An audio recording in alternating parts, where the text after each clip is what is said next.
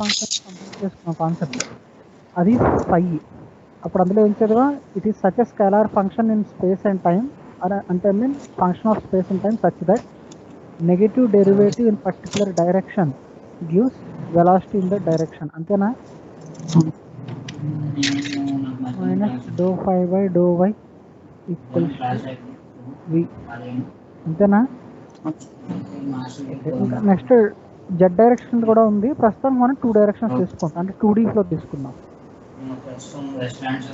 ఎందుకంటే మన stream functions జనరల్గా టూ డైమెన్షన్లకు వేరేలా ఉంటుంది త్రీ డైమెన్షన్లకు వేరేలా ఉంటుంది. ఫైవ్ అనుకో దేనికైనా సిద్ధాంతం ఒకటే. దాని నెగిటివ్ డెరివేటివ్ చేస్తే పర్టికులర్ డైరెక్షన్లో ఆ డైరెక్షన్లో ఇది వచ్చేస్తుంది. స్ట్రీమ్ ఫంక్షన్ అనాలిసిస్ కొంచెం కష్టం అవుతుంది. టూ డీకి వేరేలా చేయాలి త్రీ డీకి వేరేలా చేయాలి. అన్నిటికీ ఒకేలా చేసేద్దామంటే అవ్వదు. సో త్రీ డీ మనకి స్కోప్ ఆఫ్ టెక్స్ట్ బుక్లోంచి వేరు లేదు. అండ్ ఆల్సో మన బీటెక్ లెవెల్లో కూడా three D dimension three dimension దానికి స్ట్రీమ్ ఫంక్షన్ అనేది మనం జనరల్గా చూడడం ఎక్కడో ఒక చోట వస్తే అదే స్పెషల్ కేస్ కింద ఇస్తారు కానీ జనరల్గా అది ఉండదు. సో మనం చే చదివేది దేని గురించి అయ్యంటే two D flow stream function అన్నప్పుడు. అండ్ ఆ టూ డీ ఫ్లోలో ఎలా అంటామంటే దిస్ స్ట్రీమ్ ఫంక్షన్ ఇది కూడా స్కేలరే అంట. ఫైవ్ కూడా స్కేలర్ ఇది కూడా స్కేలర్ ఫంక్షన్ రెండు స్కేలర్ ఫంక్షనే అండ్ ఆ ఫంక్షన్ కూడా స్పేస్ అండ్ టైం సంబంధించింది అంటే ఏంటి? అక్కడ ఫైవ్ ఎలాగైతే function of X comma Y comma Z comma T అనుకున్నాం ఇక్కడ కూడా సై కూడా అంతే. కాకపోతే టూ డైమెన్షనల్ చదువుతున్నాం కనుక దీనికి F of X comma Y comma T అనుకుంటాం. కాకపోతే కండిషన్ డిఫరెన్స్ వస్తుంది ఒక చోట. ఎక్కడ ఫైవ్కి ఏంటి? స్కేలర్ ఫంక్షన్ అంట. బట్ ఎలాంటి స్కేలర్ ఫంక్షన్ అది? దాని derivative negative derivative in any direction gives velocity in that direction అది ఆ ఫైవ్కి డెఫినేషన్ సైకి డెఫినేషన్ ఏంటి? సై ఏంటంటే ఫర్ సపోజ్ మీకు ఎక్స్వై యాక్సిస్ ఉంది ఇలాగా మీకు ఇక్కడ నుంచి ఇలా ఫ్లో వెళ్తుంది ఈ పాయింట్ నుంచి ఈ point with X component as U and Y component as V okay ఇప్పుడు ఏంటంటే ఏమంటాడు దాన్ని? సచ్ దట్ ఎలాంటి ఫస్ట్ కలర్ ఫంక్షన్ అంట it's partial derivative with respect to any direction అంటే for suppose partial derivative with respect X డైరెక్షన్లో కనుక్కున్నాం do psi by do X with respect any direction ఏమంటాడు gives velocity component at right angles ఫైవ్లో ఏంటి velocity in the same direction దేంతో differentiate చేస్తాం అదే direction కాకపోతే negative derivative ఇక్కడ ఏంటంటాడు counter clock wise డైరెక్షన్లో తిరగాలంట. అంటే రైట్ యాంగిల్ ఒక ఇప్పుడు ఒక ఇలా ఉంది నన్ను ఒక లైన్ దీనికి రైట్ యాంగిల్స్లో అంటే ఇది రైట్ యాంగిలే ఇది రైట్ యాంగిలే కదా? సో ఇప్పుడు ఈ డైరెక్షన్లో వెలాసిటీ తీసుకోవాలా? ఈ డైరెక్షన్లో వెలాసిటీ తీసుకోవాలా? పక్కన చెప్తున్నాడు కౌంటర్ క్లాక్ ఈ డైరెక్షన్ నువ్వు డెరివేషన్ డెరివేటివ్ ఫైండ్ చేసినప్పుడు ఇది పాజిటివ్ ఎక్స్ యాక్సిస్ అనుకో విత్ రెస్పెక్ట్ ఈ యాక్సిస్తో డెరివేషన్ చేస్తాం అనుకో దీనికి కౌంటర్ క్లాక్ వైజ్తో తిరుగుతున్నప్పుడు వచ్చే రైట్ యాంగిల్ ఆ డైరెక్షన్లో వెలాసిటీని ఇస్తుందంట. అంటే scalar function psi such scalar sorry psi such scalar function of space and time such that it's partial derivative do by do x x ఇక్కడ. Partial derivative with respect to any direction ఇక్కడ X direction ఇక్కడ. Any direction gives velocity component at right angles to this direction ఈ డైరెక్షన్లో partial derivative కనుక్కున్నాం x డైరెక్షన్లోనే దానికి right యాంగిల్లో velocity ఇస్తుందంట మనకు అలా చేస్తే సైకి అది ఇది అవ్వచ్చు ఇది అవ్వచ్చు కానీ ఏది తీసుకోవాలి మనం? కౌంటర్ క్లాక్ వైజ్ అంటే యాంటీ క్లాక్ వైజ్ వెళ్తున్నప్పుడు వచ్చే డైరెక్షన్ తీసుకోవాలి అంటే ఇది ఏం డైరెక్షన్ మనకి? ఇది వై వెలాసిటీ పాజిటివ్ వై సైడ్కి ఉన్న వెలాసిటీ పాజిటివ్ వైలో ఉండే వెలాసిటీ అంటే విఏ కదా? So doh psi by doh x అంటే వి అలాగే ఇప్పుడు విత్ రెస్పెక్ట్ టు ఒకవేళ విత్ రెస్పెక్ట్ టు ఒకవేళ వైతో చేసావు అనుకో అంటే ఏంటి? ఈ డైరెక్షన్తో అంటే ఇలా వెళ్తున్నప్పుడు నువ్వు ఈ డైర పాజిటివ్ వై డైరెక్షన్ ఆ పాజిటివ్ వై డైరెక్షన్ నువ్వు కనుక డిఫరెన్షియేట్ చేస్తే దీనికి రైట్ యాంగిల్లో ఉన్న వెలాసిటీ వస్తుంది. ఎల్లప్పుడు ఎలా చేయాలి? నువ్వు ఇది పాజిటివ్ డైరెక్షన్ కదా. ఈ పాజిటివ్ డైరెక్షన్ కనుక దీనికి యాంటీ క్లాక్ వైజ్ డైరెక్షన్ వెళ్ళినప్పుడు అంటే ఈ డైరెక్షన్లో వెలాసిటీ వస్తుంది. కానీ మనకి యూ ఈ ఇది ఏంటిది? నెగిటివ్ ఎక్స్ డైరెక్షన్ అంతేనా? ఇది పాజిటివ్ పైన ఉంది అంటే పై వైపు పాజిటివ్ అంటే ఇది negative x direction positive x డైరెక్షన్లో యూ అనుకున్నప్పుడు నెగిటివ్ ఎక్స్ డైరెక్షన్ దాన్ని నెగిటివ్ ఆఫ్ యూ చేసుకుంటాం కదా. నా ఉద్దేశం ఏంటంటే ఇటు యాక్చువల్గా ఏ వెలాసిటీ లేదు. వెలాసిటీ ఉన్నది ఈ సైడ్కి ఈ డైరెక్షన్లో ఉంది. ఇలా ఉంది యూ ఈ డైరెక్షన్లో ఉంది. ఈ డైరెక్షన్లో ఏ వెలాసిటీ లేదు మనకి. ఈ డైరెక్షన్లో ఉంది. అంటే దీన్ని చేయడానికి ఏంటి? మైనస్ ఆఫ్ మైనస్ ఆఫ్ అంటే నాకు మనకి కానీ ఏమొస్తుంది doh psi by doh y అని చేస్తే ఈ డైరెక్షన్లో వెలాసిటీ వస్తుంది. కానీ మనకి యాక్చువల్గా ఉన్నది ఏంటి? ఇది. అది ఈ డైరెక్షన్లో ఉంది. సో మన యాక్చువల్ దానికి మనకి థియరిటికల్గా వెళ్తున్న దానికి వచ్చేది ఆపోజిట్గా ఉన్నాయి కనుక మైనస్ ఆఫ్ అనుకున్నాం. అర్థమవుతుందా? అర్థమైందా? ఎందుకు వచ్చిందా మైనస్ అక్కడ?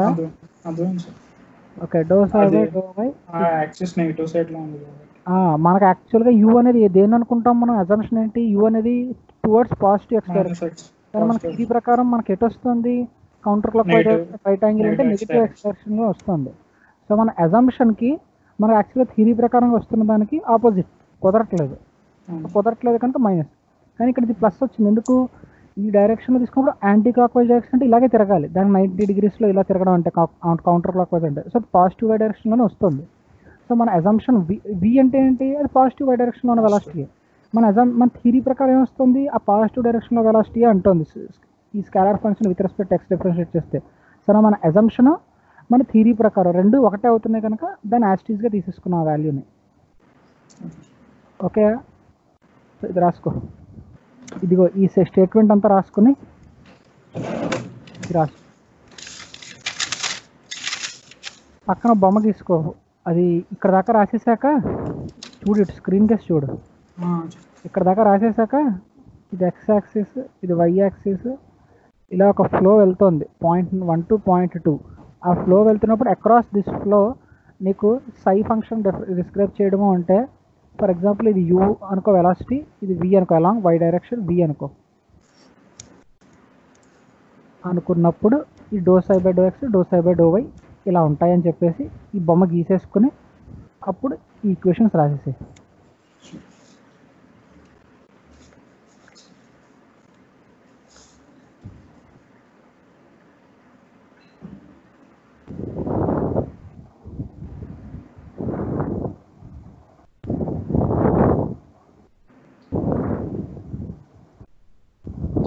ఇది కూడా రాయలే.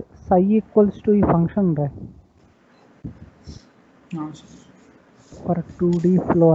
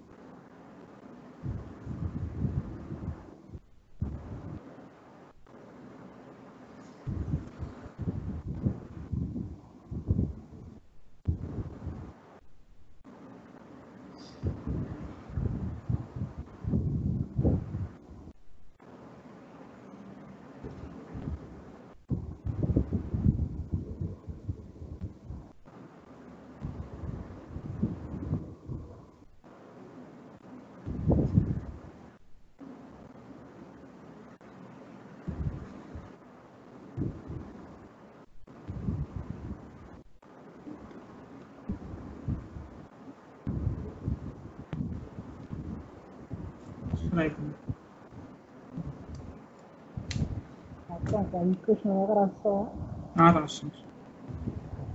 Next.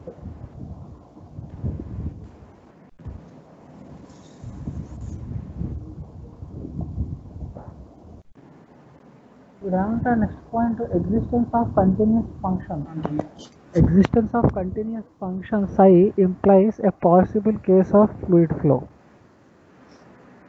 అంటే సై అంటూ ఒక కంటిన్యూస్ ఫంక్షన్ ఉండాలి. ఉంటే ఏమవుతుందంట?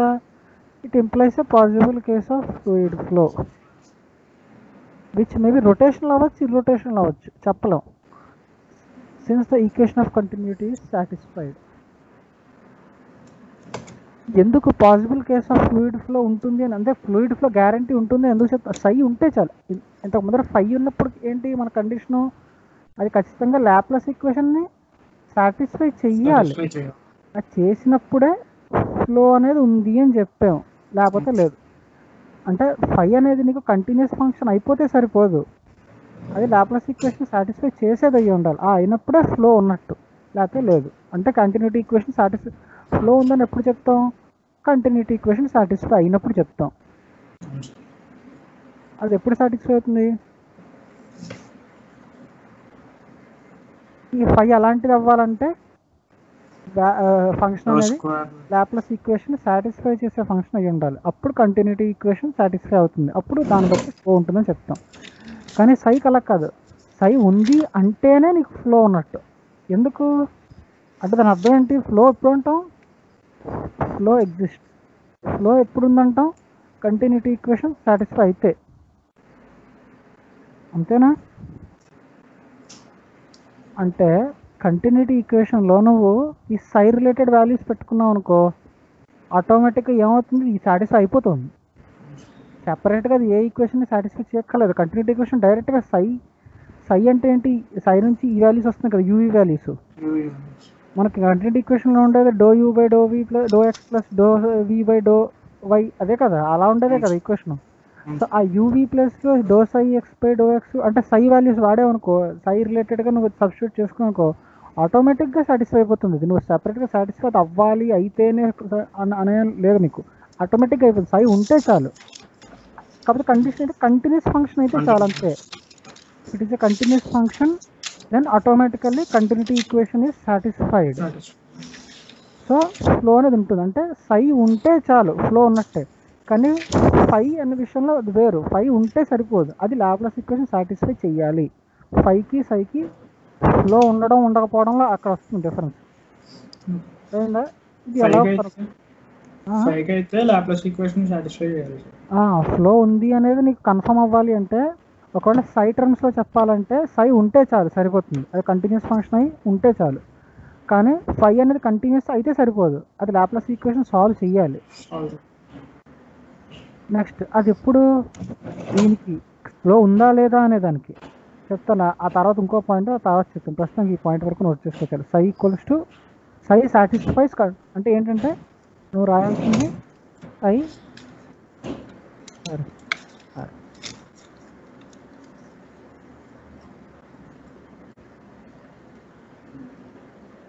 మాకు చెప్పింది అర్థమైంది కదా ఏంటనేది? ఆ, అర్థం సార్. ఎంత చెరిపేస్తున్నాను ఎంత రాసేసావు కనుక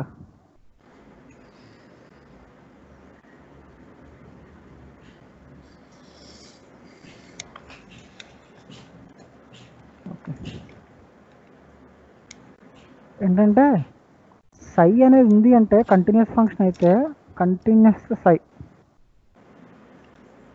Continuous psi. ఏంటి? Automatically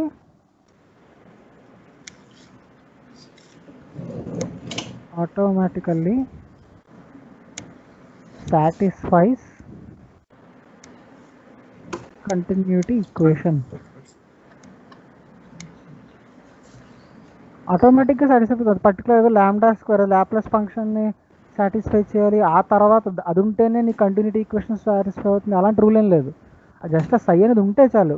కంటిన్యూటీ ఈక్వేషన్ ఆటోమేటిక్గా సాటిస్ఫై అయిపోతుంది. అంటే దాని అర్థం ఏంటి? Psi exist implies flow exist అంటే ఫ్లో ఉన్నప్పుడే సై అనేది నువ్వు డిఫైన్ చేయగలుగుతావు. సై లేదు అంటే ఫ్లో కూడా లేదు. అంతేనా. ఈ సెంటెన్స్కి అర్థం అది. ఓకే అది మనం ప్రూవ్ చేయాలి. ఇప్పుడు ఆ సెంటెన్స్ అర్థం అది. దాన్ని ప్రూవ్ చేయాలి అది ఎలాగనేది. ప్రూవ్ చేద్దాం. Let's take or consider proof ఏంటది? Consider two dimensional steady incompressible fluid flow. Implies continuity equation will be. The continuity equation is. అని అయిపోయిన పెట్టి నెక్స్ట్ లైన్లో doh u by doh x plus doh v by. Equal zero but ఇది రాస్తావు but u equals to ఇక్కడ ఇదే కదా. U equal to ఏంటి minus doh psi by doh y y. And equals to. Doh x. So these values ఇది equation number one అనుకుంటే ఇది ఇదంతా నెక్స్ట్ లైన్లో రాయ నాకు ప్లేస్ లేక పక్కన రాస్తాను నెక్స్ట్ లైన్ ఈక్వేషన్ వన్ అని బట్టి నెక్స్ట్ లైన్లో బట్. యూ ఈక్వల్స్ టు ఇది అని రాస్తావు ఆ next line substituting these values in equation one ఏం చెప్తుంది ఈక్వేషన్ వన్ సబ్స్టిట్యూట్ చేయడం అంటే doh by doh x of doh by doh x u అంటే minus doh psi by doh okay sorry sorry sorry ఇది ఇంత కాదు ఎక్స్ప్రెషన్ వన్ ఇది. Equation కాదు ఎక్స్ప్రెషన్ వన్ కంటిన్యూటీ ఈక్వేషన్ ఇదంతా రాయకప్పుడే. అదంతా లాస్ట్లో నీకు చెప్తాను అది ఎలా so consider two D steady and incompressible fluid flow అని చాలు. తర్వాత నెక్స్ట్ కన్సిడర్ ఎక్స్ప్రెషన్ ఇది ఎక్స్ప్రెషన్ దాని ఎక్స్ప్రెషన్ వన్ అని చెప్పి పెట్టు పేరు. ఓకే అని దాని నెక్స్ట్ లైన్లో but u equals to minus doh psi by doh y and v equals to doh psi by doh x ఇది దేని నుంచి వచ్చింది అంటే say equation one equation two so దీన్ని ఏం రాస్తావు from equation one and two అంతేనా? ఇది ఎక్స్ప్రెషన్ ఇది ఈక్వేషన్ కాదు. ఎక్స్ప్రెషన్ వన్ అంటే ఈక్వల్ టు అని లేదు. ఈక్వల్ టు లెస్ దాన్ అవేం లేవు. సో జస్ట్ ఎక్స్ప్రెషన్ అంతే. సో ఇది expression one so substituting these values in expression one expression one అంటే ఏంటి? Doh by doh x into minus doh psi by doh y plus doh by doh y doh psi by doh x అది ఏమొస్తుంది నీకు? Minus doh square psi by doh x doh y plus doh square psi by doh y doh x కానీ నేను ఏం చెప్పాను? ఒక function. Scalar function నేను with respect to y differentiate తర్వాత ఎక్స్తో డిఫరెన్షియేట్ చేసిన లేదా ముందు ఎక్స్తో. డిఫరెన్షియేట్ చేసి తర్వాత వైతో డిఫరెన్షియేట్. చేసిన వాల్యూ ఒకటే కదా? సో ఒక దా ఒక దాంట్లోంచి ఒక దాంట్లో మైనస్ చేస్తున్నాను ఇది ప్లస్ వాల్యూ దీంట్లోంచి ఈ వాల్యూని మైనస్ చేస్తున్నాను. అంటే దాని అర్థం ఏంటి? జీరో కదా? జీరో. అంతేనా? కానీ ఈ ఎక్స్ప్రెషన్ ఎప్పుడైతే జీరో వచ్చిందో మనకి ఎక్స్ప్రెషన్ ఎప్పుడైతే జీరో వచ్చిందో మనకి అంటే ఏంటి? Doh u by doh x plus doh v by doh y equal to zero అనే కదా? కానీ ఇది ఏం ఈక్వేషన్ ఇది? ఈక్వల్ టు ఇది? This is this is continuity for two D అదే ఈ line two D steady plus incompressible fluid flow అంతేనా? అంటే దాని అర్థం ఏంటి? నువ్వు ఈ ఎక్స్ప్రెషన్ తీసుకున్నావు అంతే. అది ఈక్వల్ టు జీరో నువ్వు చెయ్యట్లేదు. తీసుకున్నావు అంతే. తీసుకుని ఆ యూవీ ప్లేసుల్లో ఈ psi related psi in terms of psi నువ్వు పెట్టుకున్నావు వాల్యూస్ని పెడితే ఆటోమేటిక్గా జీరో అయిపోయింది అది. అంటే దాని అర్థం ఏంటి? సై అనేది ఎగ్జిస్ట్ అయితే చాలు. సై అనేది నీకు ఎగ్జిస్ట్ అయితే చాలు. ఏమవుతుంది? ఆటోమేటిక్గా కంటిన్యూటీ ఫంక్షన్ అనేది నీకు సాటిస్ఫై అయిపోయింది. కంటిన్యూటీ ఈక్వేషన్ ఎప్పుడైతే సాటిస్ఫై అయిపోయిందో దాని అర్థం ఏంటి ఫ్లో ఆటోమేటిక్గా ఉంది అని. అది మనం ఇచ్చిన స్టేట్మెంట్కి అర్థం. అర్థమైందా?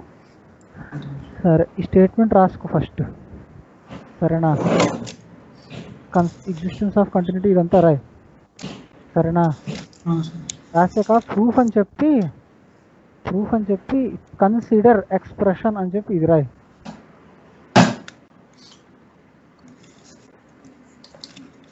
ఇది అప్పుడే రాసేయి.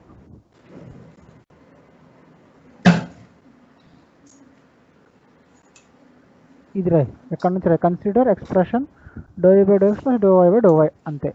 రాసే నెక్స్ట్ లైన్లో అది ఎక్స్ప్రెషన్ వన్ అని పెట్టుకో. నెక్స్ట్ లైన్లో బట్ యూ ఈక్వల్స్ టు ఇంత వి ఈక్వల్స్ టు ఇది ఎక్కడి నుంచి వచ్చింది? Equation number one and two so దీనిపైన ఏం రాస్తావంటే వీ హ్యావ్ అని చెప్పి అది రాయడం బెటర్ ఏంటంటే వీ హ్యావ్ ఆ రెండు ఈక్వేషన్ మళ్ళీ రాసేస్తాం సార్ మళ్ళీ కింద. అదే ఆ రెండు ఈక్వేషన్ మళ్ళీ రాసేసి అంతే. రాసి వీ హ్యావ్ దీన్నేమో ఈక్వేషన్ వన్ అని రాయి. దీన్నేమో ఈక్వేషన్ టూ అని రాయి. ఇదేమో ఈక్వేషన్ వన్ అలా రాసి దాని తర్వాత కన్సిడర్ ఎక్స్ప్రెషన్ అని చెప్పి ఇది రాయి. కానీ మనకేంటి బట్ ద నెక్స్ట్ లైన్లో బట్ యూ ఈక్వల్స్ టు ఎంత వి ఈక్వల్స్ టు ఎంత? ఫ్రమ్ ఎక్కడి నుంచి వచ్చి మనకి అది? ఈక్వేషన్ వన్ అండ్ టూ నుంచి వచ్చాయి. ఆ next line substituting these values in this expression one చేస్తే మనకి ఇది వచ్చింది. ఇది ఒక లైన్లో రాయి. దాని కింద ఈక్వల్ టు అని పెట్టి ఇది ఒక లైన్లో రాయి. దాని కింద ఈక్వల్ టు పెట్టి జీరో వస్తుంది అది. అక్కడ దాకా జీరో దాకా రాయి. దాని తర్వాత సెంటెన్స్ నేను చెప్తాను.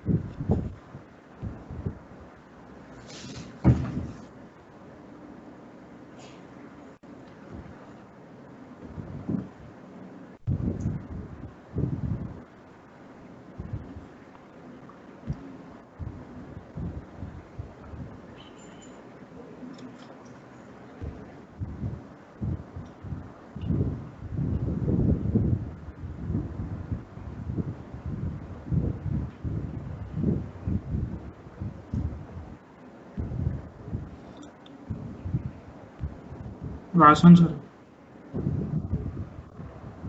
ఎక్కడ దాకా జీరో దాకా రాస్తే ఈక్వల్ టు జీరో ఆ. ఆ, రాసాను ఈక్వేషన్ రాయి first doh u by doh implies అని చెప్పి doh u by doh x plus doh v by doh y equal to zero అని చెప్పి బాక్స్లో పెట్టుకోదాన్ని ఈక్వల్ టు జీరో అని చెప్పి బాక్స్లో పెట్టుకో చెప్తున్నావా ఆ, పెట్టుకున్నాను సార్ రాసినాక దిస్ ఈజ్ దాని పక్కనే రాసాయి కింద కూడా కాదు దాని పక్కనే this is this is continuity equation CON టిఐఎన్యుఐటివై continuity equation for two dimension అంటే two D two D two D study plus incompressible flow incompressible flow 2D steady plus incompressible flow.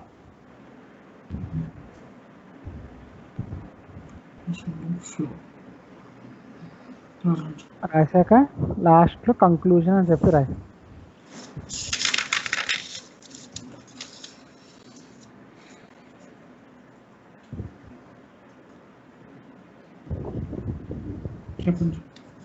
రాసి కింద కంక్లూజన్ అని చెప్పి ఏం రాస్తావు అంటే కంక్లూజన్ హెడ్డింగ్ పెట్టుకున్నావా? కింద side heading చిన్నది? పెట్టుకున్నాను పెట్టి ఏం రాస్తామంటే ఎగ్జిస్టెన్స్ ఈఎక్స్ఐఎస్టిఈఎన్సి ఎగ్జిస్టెన్స్ ఆఫ్ ఆ, existence of continuous function existence of continuous function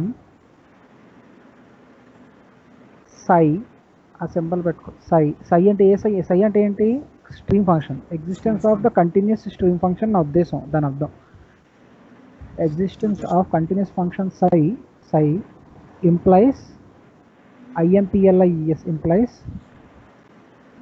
existence of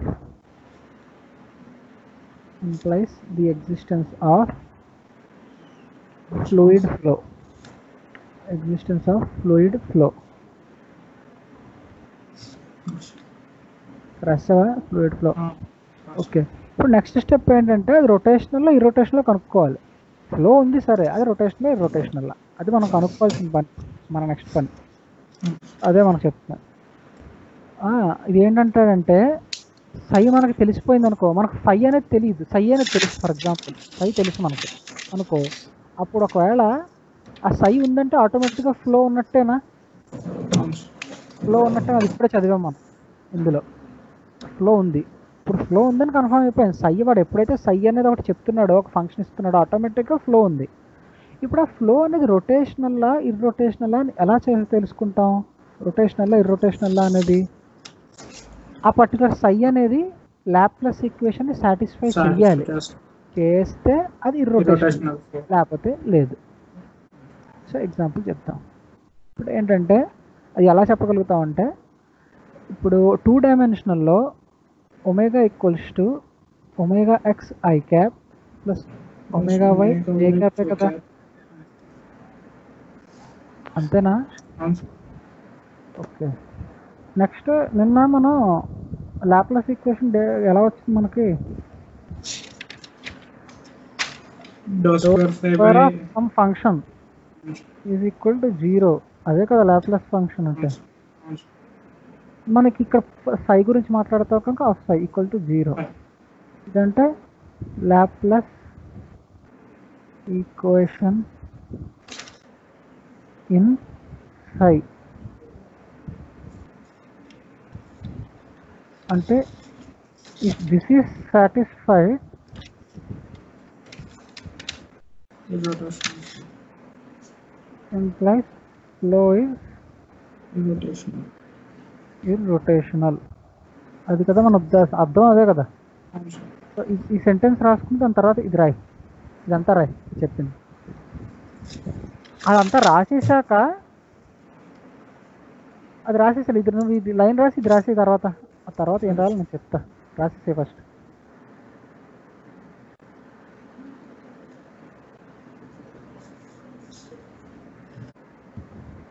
for three D flow అంటే flow in three planes x y y z z x for three D flow దీని తర్వాత ఇక్కడ రాయి.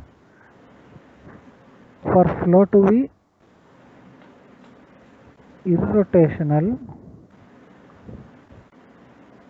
omega x equal to omega y equal to omega z equals to 0 because అని చెప్పి బ్రాకెట్లో రాసుకుంటాం అనమాట ఏమంటే బ్రాకెట్లో flow rotation possible about x comma y comma z axes అన్ని యాక్సెస్ మూడు యాక్సెస్లో రొటేషన్ పాసిబుల్ ఉంది కనుక ఇంకా బెటర్గా చెప్తాను నాకు ఇలా కంటే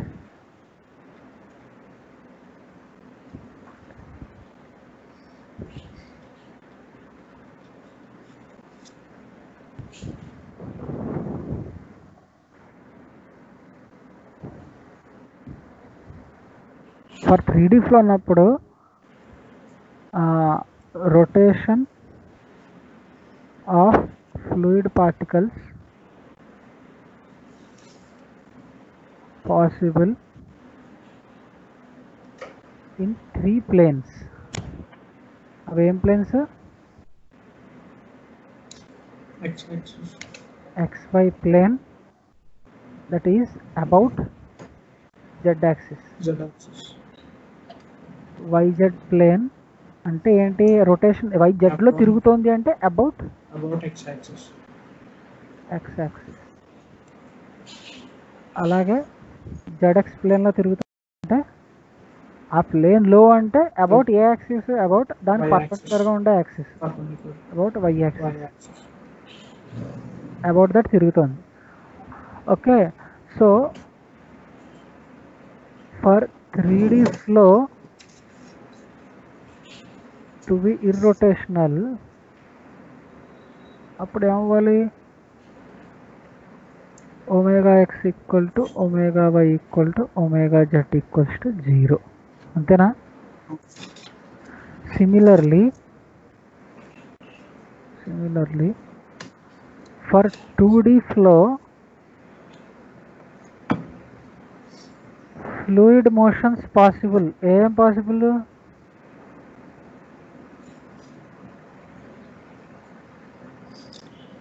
two translations two translations X Y. Along x వెళ్ళగలదు? Along Y. Axis along y axis Axis. అంటే ఏంటంటే ఒక ఎక్స్ యాక్సిస్ ఒక వై యాక్సిస్ తీసుకుంటే ఒక ఫ్లూయిడ్ పట్టుకుని ఎక్స్ యాక్సిస్లో ట్రావెల్ చేయగలదు వై యాక్సిస్లో ట్రావెల్ చేయగలదు. అండ్ ఆల్సో ఇంకొకటి ఏంటి? ప్లస్ వన్ రొటేషన్ అంటే మొత్తం మూడు రకాల మోషన్స్ ఉంటాయి ఫ్లూయిడ్ మో పార్టికల్స్కి టూ డీ ఫ్లోలో. ఒకటి రెండు ఇలా వెళ్ళడం కానీ ఇలా వెళ్ళడం కానీ. మూడోది ఏంటి? రొటేషన్. వన్ రొట ఒక రొటేషన్. అబౌట్ జెడ్ యాక్సిస్ అని కదా దాని అర్థం. ఈ ప్లేన్లో రొటేషన్ అంటే దీనికి పర్పెండికులర్గా ఉండే యాక్సిస్ ఏంటి? Z axis. About that. Axis. ఇది రొటేట్ అవుతుంది అని అర్థం. About z axis. Hence for two D flow to be irrotational ఇదంతా అసలు ఇక్కడ కాదు నీకు చెప్పాల్సింది. రొటేషన్ ఇర్రొటేషనల్ ఫ్లో నుంచి అక్కడ చెప్పాలి నీకు మామూలుగా అయితే. కానీ అక్కడ ఇంత డీటెయిల్గా చెప్పలేదు కానీ ఇక్కడ చెప్తున్నా. To be rotational omega z z axis component zero అయితే సరిపోతుందిగా.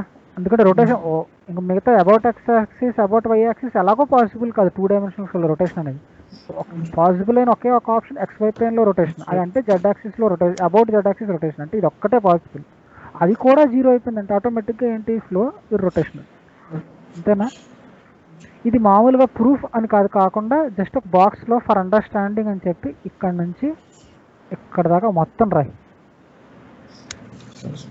లాస్ట్ దాకా రాయి.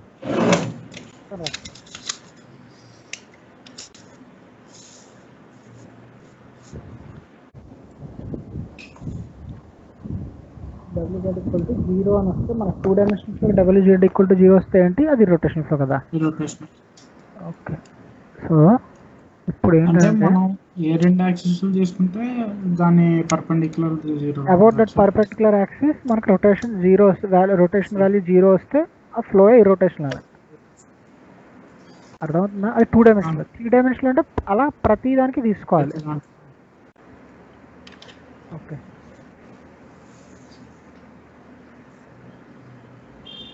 ఈసారి దీని ప్రూఫ్కి వచ్చేద్దాం.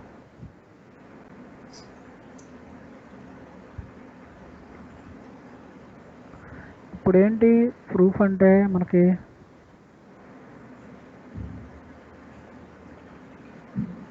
Consider expression. ఏంటి ఎక్స్ప్రెషను? ఒమేగా జెడ్ అంటే ఏంటి? ఒమేగా జెడ్ అనే ఎక్స్ప్రెషన్ కన్సిడర్ చేస్తాం. ఒమేగా జెడ్ అంటే ఏంటి? Dou half of dou by dou x. Minus x minus dou by dou by x దగ్గర ఈ వస్తుంది వై దగ్గర యూ వస్తుంది. ఇది. కన్సిడర్ దిస్ ఎక్స్ప్రెషన్ అంతేనా? వీ హ్యావ్ మనకు దగ్గర ఏముంది? వాల్యూ మనం ఇప్పుడు సైతో డీల్ చేస్తున్నాం. ఫైవ్తో కదా సైకి ఫైవ్కి కన్ఫ్యూజ్ అవ్వకు సైతో డీల్ చేస్తున్నాం సైకి డీల్ చేసినప్పుడు ఏముంది మనకి dou psi by dou x equals to v and also dou psi by dou y equals to minus u ఈ values using these values in the expression using ఇక్కడే రాసే లేకపోతే using these values in the above expression. ఏమొస్తుంది మనకు అప్పుడు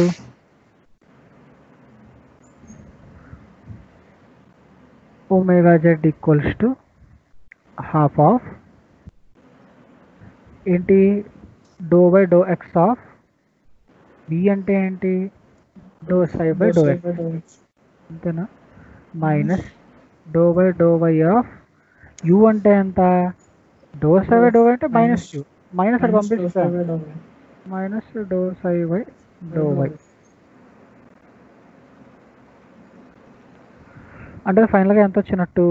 Half of dou square psi by dou x square అంటే two times differentiation with respect to x minus of minus plus అయిపోతుంది. Dou square psi divided by dou y square అంతేనా?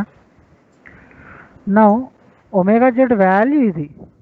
But but for two dimensional flow ఇందులో మనం అనుకున్నట్టు XY plane అదే నువ్వు ఒకవేళ YZ ప్లేన్లో ఉందనుకుందాం ఇది వై ఇది జడ్ ఆ ప్లేన్లో ఫ్లూయిడ్ మోషన్ ఉందనుకుందాం అప్పుడెప్పుడు దానికి పర్పెండిక్యులర్ యాక్సిస్ ఏంటి? ఒమేగా ఎక్స్ అప్పుడు ఒమేగా ఎక్స్ జీరో అవ్వాలి ఇర్రోటేషనల్ అవ్వాలంటే. మరి ప్రస్తుతానికి ఏంటి ఎక్స్ వై ప్లేన్ అనుకున్నాం కనుక దాని పర్పెండిక్యులర్ యాక్సిస్కి రొటేషనల్ కాంపోనెంట్ జీరో అవ్వాలి. అప్పుడు ఫ్లో ఇర్రోటేషన్ అన్నట్టు అయినట్టు so for two D play flow flow is irrotational when omega z equals to 0 hence hence for the flow to be irrotational omega z equals to 0 implies half of dou square psi by dou x square plus dou square psi by dou y square equal to zero అవ్వాలి అలా అయితేనే ఇది rotation లేకపోతే కాదు అంటే దాని అర్థం ఇది ఎప్పుడు జీరో అవుతుంది implies dou square psi by dou x square plus dou square psi by dou y square equal to zero ఇది అయితేనే కదా. అది అయితేనే హాఫ్ ఆఫ్ అది అవుతుంది అంటే ఏంటి అర్థం? ఇలా అయితేనే ఇది సాటిస్ఫై అయితే మాత్రమే. ఉత్తినే సై ఉన్నంత మాత్రాన్ని ఇది సాటిస్ఫై అయిపోదు. అది సైకి మనం ఇది క్యాలిక్యులేట్ చేయాలి ఈ వాల్యూని క్యాలిక్యులేట్ చేయాలి చేసినప్పుడు జీరో రావాలి. అలా వచ్చినట్టు అయితేనే ఏమవుతుంది? ఒమేగా జెడ్ జీరో అవుతుంది. రాకపోతే అవ్వదు. అండ్ అలా వచ్చినప్పుడు జీరో అయితేనే ఏమవుతుంది? అసలు ఇరోటేషన్ అవుతుంది. అంటే ఏంటి అర్థం కానీ ఇదేంటి? ఈ ఈక్వేషన్ ఏంటి? దిస్ ఈజ్ ల్యాప్లస్ ఈక్వేషన్ దీన్నే ల్యాప్లస్ ఈక్వేషన్ అంటాం. అది ఏ ఏ వేరియబుల్లో ఉంది? Psi in terms of psi ఉంది. నిన్న మనం ఒకటి చదివే. ఏంటది? ఇన్ టర్మ్స్ ఆఫ్ ఫైవ్లో చదివా. అక్కడికి ఇక్కడికి తేడా చూడు. డెల్ స్క్వేర్ సై అనేది జీరో వచ్చినప్పుడు ఏమైంది? ఫ్లో అనేది ఇర్రొటేషనల్ అయ్యింది రొటేషనల్ ఒకవేళ ఇది రాకపోతే ఫ్లో రొటేషనల్ రొటేషనల్ ఇక్కడ డెల్ స్క్వేర్ సై ఇది ఫై ఇది సై ఇది. అలాగే ఫై అనేది జీరో అయితే ఏమైంది మనకు? నిన్న చూసాం అది. అది ఏమైంది అది? జీరో వచ్చినప్పుడు ఫ్లో ఎగ్జిస్ట్ అంటే కంటిన్యూటీ ఈక్వేషన్ సాల్వ్ అయింది. ఈక్వల్ టు జీరో వచ్చినప్పుడు. అంతేనా? డెల్ స్క్వేర్ ఫై అనేది ఈక్వల్ టు జీరో అంటే లాప్లాస్ ఈక్వేషన్ సాటిస్ఫై చేస్తే ఈ ఫై అనేది అప్పుడు కంటిన్యూటీ ఈక్వేషన్ సాటిస్ఫై అయింది అంటే. ఫ్లో అనేది ఉంది అక్కడ. సో లాప్లాస్ ఈక్వేషన్ ఫైవ్కి అప్లై చేస్తే ఒక రిజల్ట్ వచ్చింది. అలాగే సైకి రిప్రజెంట్ చేస్తే ఇంకొక రిజల్ట్ వచ్చింది. సైకి చేస్తే ఏమొచ్చింది? లాప్లాస్ ఈక్వేషన్ ఫ్లో ఇర్రొటేషనల్ అని తేలింది. రొటేషన్ అది జీరో అని వస్తే. ఒకవేళ ఫైవ్ ఈ ఫైవ్ అనేది సాటిస్ఫై చేస్తే ఏమొచ్చింది? కంటిన్యూటీ ఈక్వేషన్ సాటిస్ఫై అంటే ఫ్లో ఉంది అని అర్థమైంది. అది తేడా. అర్థమైందా? అలాగే ఫైవ్ అనే ఫైవ్ అనే ఫంక్షన్ అంటూ ఉంటే ఏమవుతుంది? అది ఓన్లీ ఫర్ ఇర్రొటేషనల్ ఫ్లో అలాగే సై అనేది ఉంది అంటే ఏమవుతుంది? కంటిన్యూస్ అంటే ఫ్లో ఉంది. అంటే సై ఉంటే ఫ్లో ఉన్నట్టే. ఫైవ్ ఉంటే ఆ ఉన్న ఫ్లో కాస్త ఇర్రొటేషన్ అయినట్టే. అంటే సై అన్నప్పుడు నువ్వు ఏం చెక్ చేయాల్సి ఉంటుంది? ఫ్లో ఇర్రొటేషన్లో రొటేషన్ అని మాత్రమే. ఫ్లో ఉందా లేదా అని చెక్ చేయక్కర్లేదు. సై ఉంటే ఫ్లో ఉన్నట్టే. సో ఫ్లో ఉందా లేదా చెక్ చేయక్కర్లేదు. ఆటోమేటిక్గా ఫ్లో ఉంటుంది. ఫర్దర్గా నువ్వు చెక్ చేయాల్సింది ఏంటంటే అది రొటేషనల్లా లేక ఇర్రొటేషనల్లా అది నువ్వు చెక్ చేయాలి. అలాగే ఫైవ్ ఉన్నప్పుడు ఏంటి? నువ్వు ముందే ఒకటి చెక్ చేయాలి. ఏంటది? ఫస్ట్ అది లాప్లస్ ఈక్వేషన్ సాల్వ్ చేస్తుందా లేదా? లేదా? చేస్తే ఈక్వల్ టు జీరో చేస్తే అది కంటిన్యూస్ ఫంక్షన్ అండ్ ఆల్సో చేసింది అంటే దాని అర్థం ఏంటి? ఆటోమేటిక్గా ఫ్లూయిడ్ ఉన్నట్టే ఫ్లో ఉన్నట్టే అండ్ అది ఎలాంటి ఫ్లో అవుతుంది? బై డిఫాల్ట్ ఇర్రొటేషనల్ ఫ్లో అయిపోతుంది. ఎందుకు? Phi is defined only for irrotational ఒకసారి కంటిన్యూటీ ఈక్వేషన్ నీకు సాటిస్ఫై అయ్యాక అది రొటేషనల్లా ఇర్రొటేషనల్లా అనేది మనం అసలు చూడక్కర్లేదు. ఈ ఫైవ్ కేసులో అది ఆటోమేటిక్గా ఇర్రొటేషన్ అవుతుంది. ఎందుకంటే అది ఆటోమేటిక్గా ఈ ఫైవ్ వాల్యూస్ వాడినప్పుడు ఒమేగా జెడ్ అనేది బై డిఫాల్ట్గా జీరో వచ్చింది. ఒమేగా ఎక్స్ కూడా జీరో వచ్చింది ఒమేగా వచ్చింది. నేను డెరివేషన్ చూసి ఆల్రెడీ త్రీ డైమెన్షన్ ఫ్లోర్లో ఫైవ్ అనేది ఆటోమేటిక్గా నీకు omega x equal to zero omega y equal to zero omega z equals to zero అనే వాల్యూస్ నాకు ఇచ్చింది నేను ఆల్రెడీ చూసాం అది. ఎప్పుడైతే మూడు కాంపోనెంట్లు బై డిఫాల్ట్గా జీరో అయిపోయిందో ఈ ఫైవ్ వల్ల ఆటోమేటిక్గా బై డిఫాల్ట్ ఫైవ్ అనే అంటూ ఉంటే ఒక ఫంక్షన్ అది రొటేషన్ ఫ్లోకే గుర్తిస్తుంది. మనం సో ఫైవ్ అని అన్నప్పుడు మనం చెక్ చేయాల్సింది ఒకటే. అసలు ఫ్లో అంటూ ఉందా లేదా చెక్ చేసుకోవాలి అంతే. అది ఎప్పుడవుతుంది? లాప్లస్ ఈక్వేషన్ సాటిస్ఫై అయితే. కానీ సై ఉన్నప్పుడు అలా కాదు. సైలో ఉంటుంటే తేడా ఇందులో మనం ఫ్లో ఉందో లేదో అసలు చెక్ చేసుకోవాల్సిన అవసరం లేదు. సై అనేది ఉంది అంటే ఫ్లో ఉన్నట్టే. మనం చెక్ చేసుకోవాల్సింది ఏంటంటే అది రొటేషనల్ ఫ్లోవా ఇర్రొటేషనల్ ఫ్లో అనేది చెక్ చేసుకోవాలి. అర్థమైందా? ఫైవ్కి సైకి తేడా ఏంటో? ఇంకా ఏమైనా చెప్పాలా? ఓకే సరే. లాప్లస్ ఈక్వేషన్ ఇక్కడ దాకా రాసేసాక లాస్ట్లో ఏం రాస్తామంటే ఈ బాక్స్లో ఉన్నది రాసే so so if del square psi equal to 0 then only then only omega z equals to 0 implies flow is irrotational అది లాస్ట్లో రాయను. ముందు ఇక్కడ నుంచి ప్రూఫ్ అని చెప్పి అంతా రాసేసి ఇక్కడ దాకా ల్యాప్లస్ ఈక్వేషన్ అనే దాకా రాసేసి సరేనా? రాసే స్పీడ్గా రాసే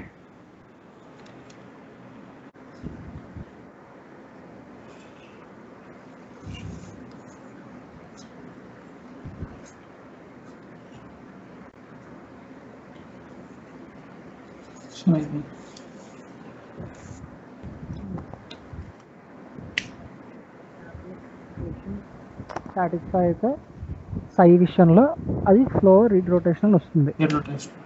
ఓకే నెక్స్ట్ హెడింగ్ పెట్టుకుంటున్నాం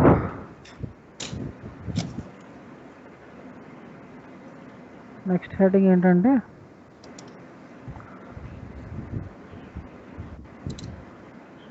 కాచి రీమన్ ఈక్వేషన్స్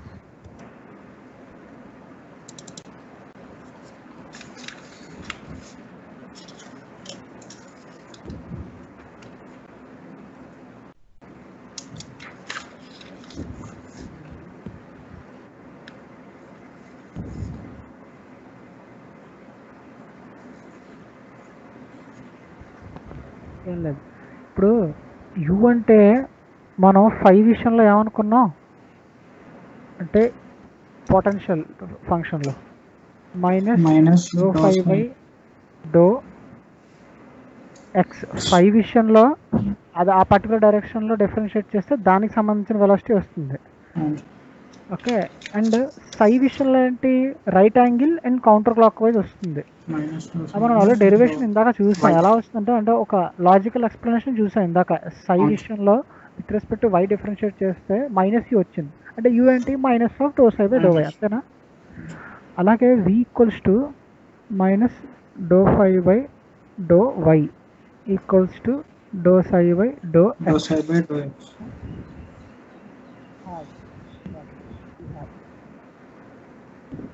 doubt ఉందా డచ్ ఈ రెండింటిని ఇంప్లస్ అంటే ఏమొస్తుంది దీని నుంచి dou phi by dou x equals to dou phi by dou y అంతేనా అంతే సార్ అండ్ ఇంకో ఈక్వేషన్ ఏమొస్తుంది minus dou phi by dou y equal to dou psi by dou x అవును సార్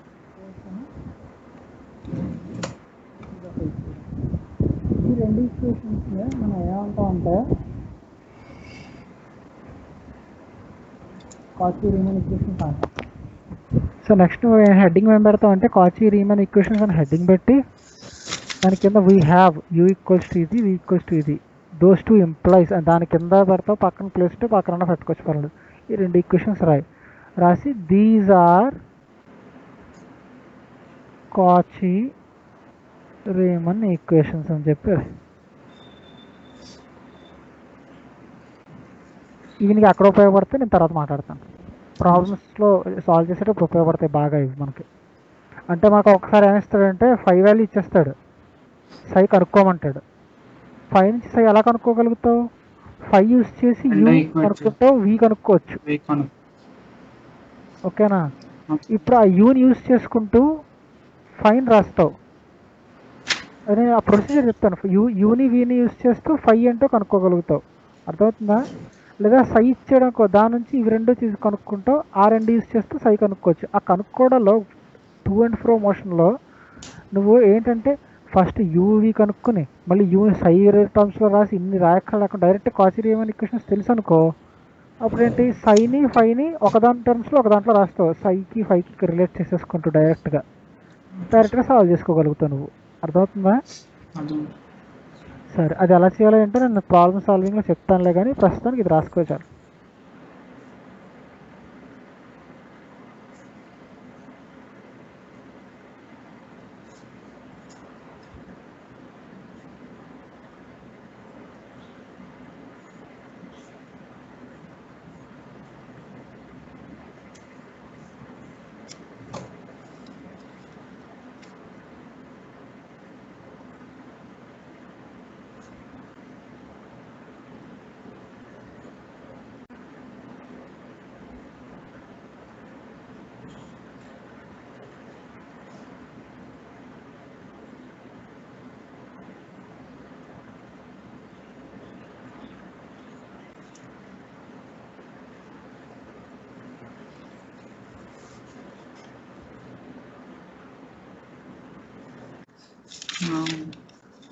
సో మీకు సర్క్యులేషన్ అండ్ వర్టిసిటీ చెప్పాక velocity potential చెప్పాను. Velocity potential నిన్న చెప్పేసాను అయిపోయింది. తర్వాత ఇవాళ stream function.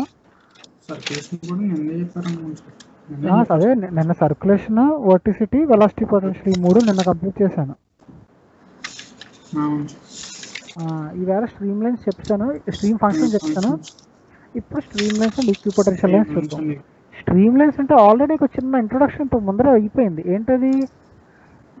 Third lines for which at every point tangent to them Tangents. Velocity vectors ఆ, దానికి ఇంకో డెరివేషన్. కూడా చేసినప్పుడు మనం ఏం చేసాం d x by u equals to d y by v equals to DW by z. Sorry sorry d z by W ఇది already మనం ఇంతకు ముందర చేసాను చెప్పాను ఇంట్రొడక్షన్ ఇచ్చాను ఇలా ఇది అవుతుంది ఇది స్ట్రీమ్ లైన్ అంటాం ఏ లైన్ అయితే ఈ ఈక్వేషన్ సాటిస్ఫై చేస్తుందో ఆ లైన్ స్ట్రీమ్ లైన్ అంటామని ఇంతకు ముందర ఒకసారి చెప్పాను మామూలుగా నీకు అవును సార్. సో అది జస్ట్ ఒక చిన్న పార్ట్ అంతే స్ట్రీమ్ లైన్కి అర్థం. కానీ అసలు Definition స్ట్రీమ్ లైన్ ప్రకారం. అంటే ఏంటంటే ఏ ప్రాపర్టీ ఆఫ్ స్ట్రీమ్ స్ట్రీమ్ కాదు stream stream function is that the difference of its values difference of its values at two points represent sir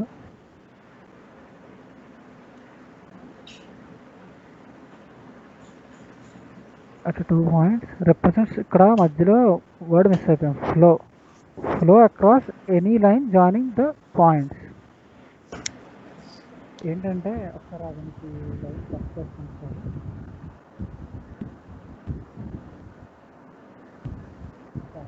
దీని అర్థం ఏంటంటే for example two points ఉన్నాయనుకో okay any line join those points ఇది ఒక line join చేస్తే ఒక line ఉందనుకో వాడు ఏమంటాడంటే ఇక్కడ ఇది ఒక స్ట్రీమ్ ఫంక్షన్ వస్తుందా?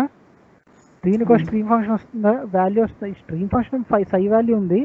ఈ పాయింట్కి ఎక్స్ కామా వై కామా ఏదో వాల్యూ ఉంటుంది. దీనికి కూడా some x comma y comma ఏదో వాల్యూ ఉంటుంది. ఆ వాల్యూ సబ్స్టిట్యూట్ చేసుకుంటే ఆ సైలో నీకు ఒక సై వన్ వాల్యూ వస్తుంది ఒక సై టూ వాల్యూ వస్తుంది. అంతేనా? ఆ వచ్చినప్పుడు వాడు ఏమంటాడంటే ఆ రెండు వాల్యూస్ ఎలా ఉంటాయంటే దీని ప్రాపర్టీ ఈ లైన్ రెండు ఈ రెండు పాయింట్స్ని జాయిన్ చేసాం అనుకో line flow across this line అంటే డిశ్చార్జ్ మొత్తం ఇందులోంచి ఫ్లో ఎంత వెళ్తుంది ఎంత లిక్విడ్ ఫ్లూయిడ్ అనేది పాస్ అవుతుంది అనే క్వాంటిటీ నీకు మెజర్ ఇస్తాయి అన్నమాట అర్థమవుతుందా. అదేంటి? ఆ ఫ్లో మొత్తం ఇంత ఏరియా ఇది ఒక ఏరియా ఏదో వస్తుంది కదా. ఆ ఏరియా నుంచి ఫ్లో అవడం అంటే డిశ్చార్జే కదా. డిశ్చార్జ్ క్యూ అంటే ఏవి ఏ ఇంటూ వి చదువుకున్నంత ముందర గుర్తుందో లేదా నీకు? ఆ డిశ్చార్జ్ ఇస్తా అంటది. అంటే వాడి ఉద్దేశం ఏంటి? Psi one minus psi two ఈ డిఫరెన్స్ ఏదైతే ఉందో that gives us the discharge a discharge discharge between these two points అంటే ఈ లైన్ ఈ లైన్ జాయిన్ చేస్తుంటే ఆ లైన్ క్రాస్ చేసుకుంటూ వెళ్ళే ఫ్లో అంతటిని ఆ వాల్యూని ఇస్తుంది అనమాట ఆ డిఫరెన్స్ అది ఆ సై యొక్క ప్రాపర్టీ అంటున్నాడు. ఈ సై ఫంక్షన్ యొక్క ప్రాపర్టీ అంటున్నాడు. అర్థమైందా? ఓకే ఓకే ఇప్పుడు ఇది ఎలాగా దీని డెరివేషన్ కూడా ఉంది యాక్చువల్గా అది నేను చెప్తాను. ముందు తర్వాత అది డెరివేషన్ తర్వాత చెప్తాను. ముందు ఏంటంటే ఇప్పుడు అంటే ఈ లైన్ రాసుకుని ఈ ముక్క రాసుకోవాలి నువ్వు. అండ్ ఇది బొమ్మ గీసుకోవాలి. ఇక్కడ x one comma y one comma z one రాసుకో. ఇక్కడ x two comma y two comma z two comma t అనేది కాన్స్టెంట్గా ఉంచుదా టీ కాన్స్టెంట్ అంటుందా ఒక పర్టికులర్ గివెన్ ఇన్స్టెంట్లో తీసుకుంటున్నాను అనమాట x one y one z one next y two z two దీని దగ్గరేమో సై టూ వాల్యూ దీని దగ్గరేమో ఫైవ్ సై వన్ వాల్యూ అలా ఉన్నప్పుడు ఈ రెండు పాయింట్స్ని జాయిన్ చేస్తూ ఉన్న లైన్ క్రాస్ చేసుకుంటూ వెళ్ళి అంటే అక్రాస్ లైన్ అంటే ఆ లైన్ని క్రాస్ చేసుకుంటూ వెళ్ళేవి అని దాన్ని పర్పెండిక్యులర్ ఫ్లో ఆ లైన్కి సో ఆ ఫ్లోని ఇస్తుంది అనమాట రిప్లస్ this difference of its values ఆ సై వన్ సై టూ మధ్యన difference ఏమిస్తుందంటే at those two points represents flow across any line joining the point అర్థమైందా? దాని అర్థం ఇది. ఓకే నెక్స్ట్ ఏంటంటే ఏమంటాడంటే దీన్ని బట్టి అర్థం ఏంటి? Stream function has same value at all points on streamline ఎందుకంట? స్ట్రీమ్ ఫంక్షన్ అనేది ఒక స్ట్రీమ్ లైన్ తీసుకున్నప్పుడు అందులో ప్రతి చోట స్ట్రీమ్ ఫంక్షన్ వాల్యూ ఒకటే ఉంటుందంట. ఎందుకంట? ఇప్పుడు ఒక ఫర్ ఎగ్జాంపుల్ ఇది ఒక స్ట్రీమ్ ఫంక్షన్ అనుకుందాం. సరేనా? Hmm. స్ట్రీమ్ లైన్ అనుకుందాం. ఓకేనా? స్ట్రీమ్ లైన్ ప్రాపర్టీ ఏంటి? ఫ్లో అనేది దీనికి Same ఉంటుంది. అక్రాస్ వెళ్ళదు అసలు. ఖచ్చితంగా అలాంగ్ దిస్ ఫ్లో ఎందుకంటే ప్రతి పాయింట్ దగ్గర కూడా వెలాసిటీ గా ఉంటుంది. ఏ పాయింట్ దగ్గర తీసుకుంటే ఆ పాయింట్కి గా ఉంటుంది వెలాసిటీ సో అది దానికి తగ్గట్టుగా స్ట్రీమ్ లైన్ అనేది వచ్చింది. సో నీకు ఫ్లో అనేది ఫ్లో అనేది always along stream line stream line cross చేసుకుంటూ ఏ ఫ్లో ఇలాగ కానీ ఇలాగ కానీ ఏ ఫ్లో రాదు. అంతేనా? అంటే దాని అర్థం ఏంటి? దీనికి నార్మల్ అంటే ఒకవేళ ఒకవేళ ఫ్లో ఇలా ఉండుంటే దీనికి ఒక టాంజెన్షియల్ కాంపోనెంట్ ఒక నార్మల్ కాంపోనెంట్ ఉండి ఉండేది. అంటే అప్పుడు ఏంటి? కొంత ఫ్లో ఏమో ఇలా అలాంగ్ ద స్ట్రీమ్ లైన్ వెళ్తుంది కొంత ఫ్లో ఏమో పర్పెండిక్యులర్ టు స్ట్రీమ్ లైన్. అంటే అక్రాస్ ద స్ట్రీమ్ లైన్ వెళ్తుంది. ఎప్పుడు? నీకు వెలాసిటీ వెక్టర్ అనేది స్ట్రీమ్ లైన్ క్రాస్ చేస్తూ వెళ్ళి ఉండి ఉంటాయి వెళ్ళి ఉండి ఉంటే కానీ అలా ఉండదు. ఎందుకు? వెలాసిటీ మనకు ఆల్రెడీ తెలుసు ఏంటి? Velocity vector always at every point tangential అంటే అలాంగ్ ద అనే కాంపోనెంట్ మాత్రమే ఉంటుంది. ఇంకా పర్పెండిక్యులర్ కాంపోనెంట్ అనేది జీరో అంటే flow across across along stream line yes ఉంటుంది. ఫ్లో మొత్తం అటే ఉంటుంది. అక్రాస్ అంటే క్రాస్ చేయటం. దీన్ని ఇలాగా ఇలాగ ఇలా క్రాస్ చేయటం. ఆ క్రాసింగ్ అనేది అసలు ఖచ్చితంగా ఉండదు స్ట్రీమ్ లైన్ కదా మనం ఇంత ముందర చెప్పేసుకున్నాం ఆల్రెడీ స్ట్రీమ్ లైన్స్ గురించి చదువుకునేటప్పుడు. Flow across stream line not possible అంతేనా? అండ్ ఇప్పుడు గమనించు. సో ఇది ఇది చాలా స్ట్రాంగ్గా గుర్తుపెట్టుకో. ఇప్పుడు దీని నుంచే మన నెక్స్ట్ ఈ పాయింట్ లాజిక్ ఏంటంటే ఇది ఒక స్ట్రీమ్ లైన్ అనుకో స్ట్రీమ్ లైన్ అంతేనా? ఇది ఒక స్ట్రీమ్ లైన్ ఇది ఒక స్ట్రీమ్ లైన్ ఇప్పుడు ఈ స్ట్రీమ్ లైన్లో ఏదైనా రెండు పాయింట్స్ తీసుకో. ఈ రెండు పాయింట్స్ని జాయిన్ చేస్తూ ఉండే లైన్ ఇదే కదా ఈ కర్వే కదా. ఇప్పుడు ఈ కర్వ్కి అక్రాస్ ఫ్లో ఏంటి? జీరో కదా. ఇది స్ట్రీమ్ లైన్ అయితే అప్పుడు ఫ్లో అక్రాస్ ఎక్కడ తీసుకున్నా అక్రాస్ ఎక్కడైనా జీరోనే కానీ ప్రస్తుతానికి ఈ రెండు పాయింట్స్ని కన్సిడర్ చేస్తున్నా. ఆ మధ్యలో అయినా జీరోనే కదా ఫ్లో క్యూ ఈక్వల్స్ టు జీరోనే కదా. కానీ మనకి క్యూ వాల్యూ ఏమన్నా మనం psi one minus psi two అంతేనా? అది ఏమైంది? జీరో వచ్చింది. అంతేనా? ఎప్పుడు? ఈ one first point second point రెండు పాయింట్లు కూడా స్ట్రీమ్ లైన్ మీదే ఉంటాయి అప్పుడు. అప్పుడు అక్రాస్ ది ఈ రెండింటిని జాయిన్ చేసే లైన్ ఇది కనుక మనకి psi one minus psi two చేస్తే అక్రాస్ దిస్ లైన్ మనకి ఫ్లో అనే వాల్యూ వస్తుంది కనుక. కానీ మనకి స్ట్రీమ్ లైన్లో అక్రాస్ అనే ఫ్లో వాల్యూ జీరో కనుక psi one minus psi two equal to zero అంతేనా? అంటే దాని అర్థం ఏంటి? Psi one equals to psi two అనేనా అంటే ఒక స్ట్రీమ్ లైన్ తీసుకున్నప్పుడు ఏ రెండు పాయింట్లు తీసుకున్నా ఎక్కడ తీసుకున్నా అసలు ఏ పాయింట్ తీసుకున్నా అన్నిటికీ సై వాల్యూ సేమ్ ఉంటుందనే కదా? ఎందుకంటే అక్రాస్ దట్ జీరో అప్పుడు ఈ పాయింట్కి ఈ పాయింట్కి మధ్య తీసుకున్నా ఈ పాయింట్కి ఈ పాయింట్ మధ్య ఏ పాయింట్కి రెండు పాయింట్లకి మధ్య తీసుకున్నా సై డిఫరెన్స్ జీరో అయిపోతుంది అంటే psi one equals to psi two అనే వచ్చేస్తుంది. అంటే ఏ ఏ పాయింట్ తీసుకున్నా అక్కడ సై వాల్యూ కాన్స్టెంట్ కదా. ఒక ఒకటే వాల్యూ ఉంటుంది ఇంకా వాల్యూ మారదు. So psi equals to constant లేదా psi one minus psi two equals to zero అని చెప్తున్నాను ఎప్పుడు? ఈ స్ట్రీమ్ ఫంక్షన్ మనం తీసుకు ఈ స్ట్రీమ్ ఫంక్షన్ అనేది ఉందే దాని వాల్యూస్ మనం ఏ పాయింట్స్ దగ్గర క్యాలిక్యులేట్ చేసినప్పుడు ఆన్ ద స్ట్రీమ్ లైన్ అంటే దాని అర్థం ఏంటి? ఒక స్ట్రీమ్ లైన్ తీసుకున్నప్పుడు ఒక స్ట్రీమ్ లైన్ తీసుకున్నప్పుడు ఆ మొత్తం స్ట్రీమ్ లైన్ అంతటికి కూడా సై అనేది కాన్స్టెంట్ వాల్యూ ఉంటుంది. అర్థమైందా? స్ట్రీమ్ లైన్స్ అంటే ఇది కదా.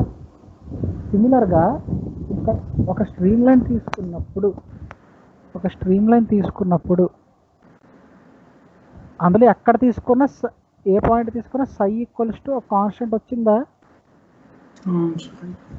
అలాగే ఏదో ఇంకో కర్వ్ ఉంటుంది. అది ఎలా ఉంటుందంటే దాంట్లో నువ్వు ఏ పాయింట్ తీసుకున్నా ఫై వాల్యూ కాన్స్టెంట్గా ఉంటుందన్నమాట. అలా ఉండే ఆ లైన్ ఏమంటాం? అంటే దీంట్లో ఏ పాయింట్ దగ్గర తీసుకున్నా ఫై వాల్యూ కాన్స్టెంట్ దాని అర్థం ఏంటంటే ఫైవ్ ఈక్వల్స్ టు సమ్ ఏదో ఫంక్షన్ ఇస్తాడా? X comma y comma some z comma t వాటిలో నువ్వు ఒక కర్వ్ ఎలా ఉంటుందంటే దాంట్లో నువ్వు x y z t values ఏం పెట్టినా సరే ఆ వాల్యూ ఒకటే వస్తుంది. ఫర్ ఎగ్జాంపుల్ ఫైవ్ వచ్చింది ఒక ఒక పాయింట్ దగ్గర ఇంకో పాయింట్ దగ్గర కూడా ఫైవ్ వస్తుంది. ఆ తర్వాత కూడా ఫైవ్ వస్తుంది. ఇది ఎక్స్ వై జెడ్ వాల్యూస్ మారిపోయి ఇక్కడ ఒకసారి వన్ టూ త్రీ రాని ఇంకోసారి టూ త్రీ ఫోర్ రాని ఇంకేటైనా రావని. ఏ వాల్యూ పెట్టినా నీకు ఎవ్రీ టైం ఒక పర్టికులర్ వాల్యూ వస్తుంది. అదే వాల్యూ వస్తుంది అన్ని చోట్ల. సో అవన్నీ లైన్స్ ఆ పాయింట్స్ అన్ని కలుపుకుంటూ వెళ్ళి అక్కడక్కడైతే five value constant same value వస్తుంది. ఆ లైన్స్ అని కలుపుకుంటూ వెళ్తే ఆ పర్టికులర్ కర్వ్ని ఏమంటామంటే ఈక్వి పొటెన్షియల్ లైన్స్ అంటాం అర్థమైందా రాసుకో ఈ- ఇది రాసి ఈ డయాగ్రామ్ తీసుకో ఇలా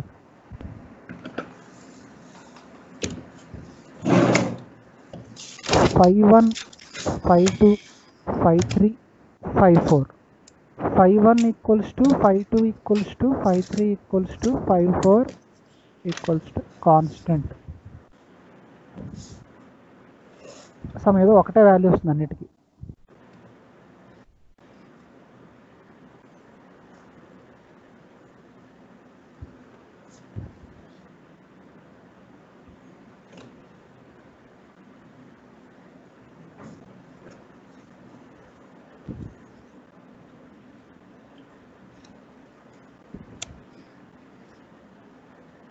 Similarly, Q is equal to constant. 5, 5. 5. Five value అంటే సింబల్ అలాగే ఉంది ల్యాప్టాప్లో ఇన్సెట్ సింబల్ కొట్టినప్పుడు. ఫైవ్ వాల్యూ క్యూ కాదు. అయినా క్యూ అసలు అలా ఎందుకుంటుందబ్బా ఆల్ఫాబెట్స్ మర్చిపోయావండి క్యూ ఇలా ఉంటుందా? ఎలా ఉంటుంది కానీ అది ఇలా ఇలా ఉంటుంది కదా క్యూ అవును సార్. అంటే మనం ఇప్పుడు క్యూ గురించి మాట్లాడాం కదా క్యూ ఏమన్నా క్యూ ఎక్కడ మాట్లాడావు? ఫైవ్ సై కదా. క్యూ ఎక్కడి నుంచి వచ్చింది మధ్యలో నీకు? క్యూ అనుకున్నాను సార్ అది ఏది? ఇదా? అదే ఇప్పుడు మనం అదే. ఇవా అది క్యూ. ఫైవ్ అసలు క్యూ అలా ఎందుకు ఉంటుంది? ఇలా ఉండదు కదా ఇలా ఉంటుంది. ఆల్ఫాబెట్స్ మర్చిపోయావు క్యూ ఇలా ఉంటుంది ఇటు ఉంటుందా? ఇటు ఉండదు. అదే సార్ నాకు గుర్తుంది కానీ కన్ఫ్యూజ్ అవ్వ అలాగే కన్ఫ్యూజ్ అవ్వ అన్నిటికీ ఇంకా. చిన్న చిన్నవి. ఏబిసిడీలు కూడా చదివించారు అక్కడ నీతోటి. హలో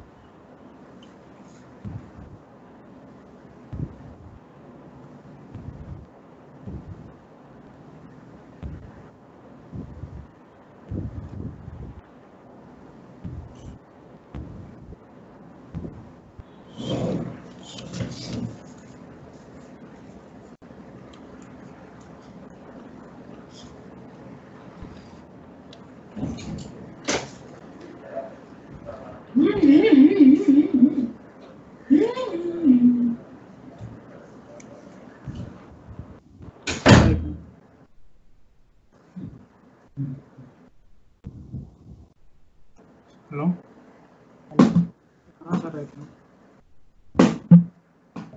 నెక్స్ట్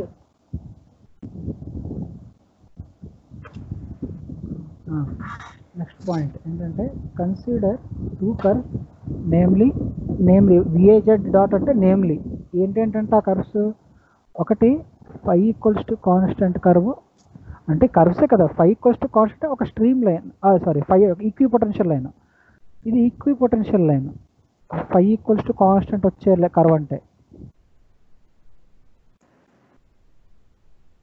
దాని ఈక్విటీ పొటెన్షియల్ అలాగే సై ఈక్వల్స్ టు కాన్స్టెంట్ వచ్చేదాన్ని స్ట్రీమ్ లైన్ అంటాం. అంతేనా? ఇందాక ఆల్రెడీ చూసాం అది. సై ఈక్వల్స్ టు కాన్స్టెంట్ వస్తే ఇందులో చూసాం. ఏంటది? సై ఈక్వల్స్ టు కాన్స్టెంట్ దేనికి వస్తుంది? స్ట్రీమ్ లైన్కి వస్తుంది.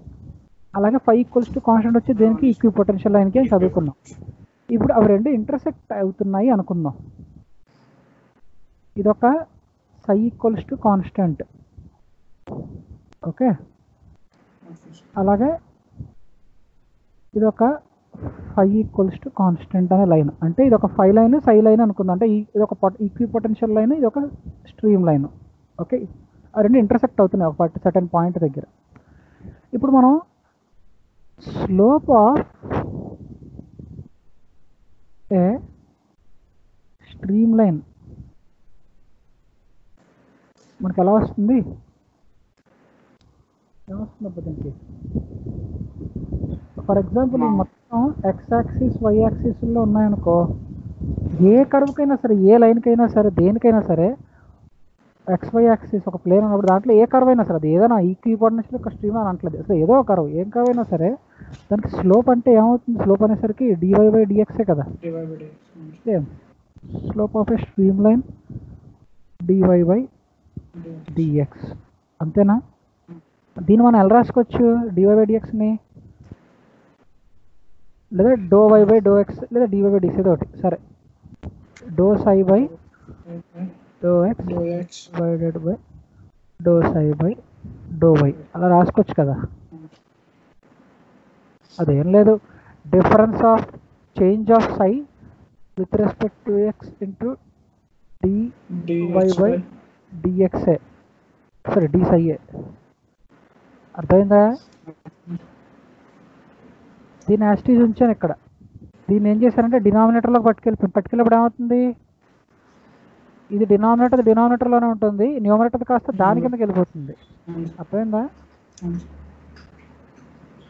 కానీ డోస్ బై డోఎక్స్ అంటే ఏంటి? మనం చదువుకున్నాం. యూస్ డోస్ ఐ బై డో అంటే వి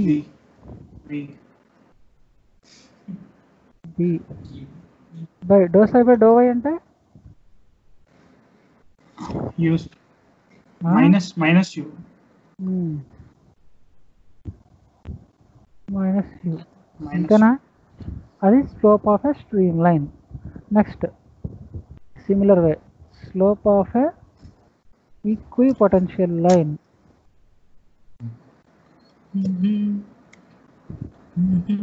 ఏమవుతుంది పాటలు పాడమా? పక్కన doh y by doh x doh y by doh x అంటే దీని ఎలా రాసుకోవచ్చు? ఇన్ టర్మ్స్ ఆఫ్ ఫైల్లో doh five by doh x divided by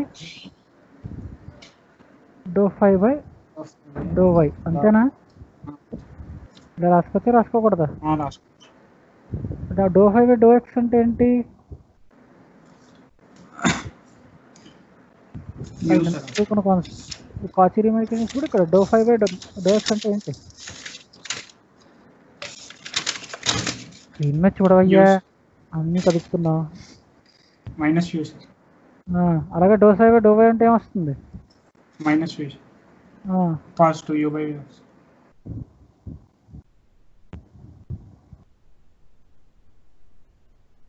minus u by minus v అంటే u by v okay so ఈ స్లోప్ని ఎం వన్ అనుకుందాం. ఈ స్లోప్ని ఎం టూ అనుకుందాం.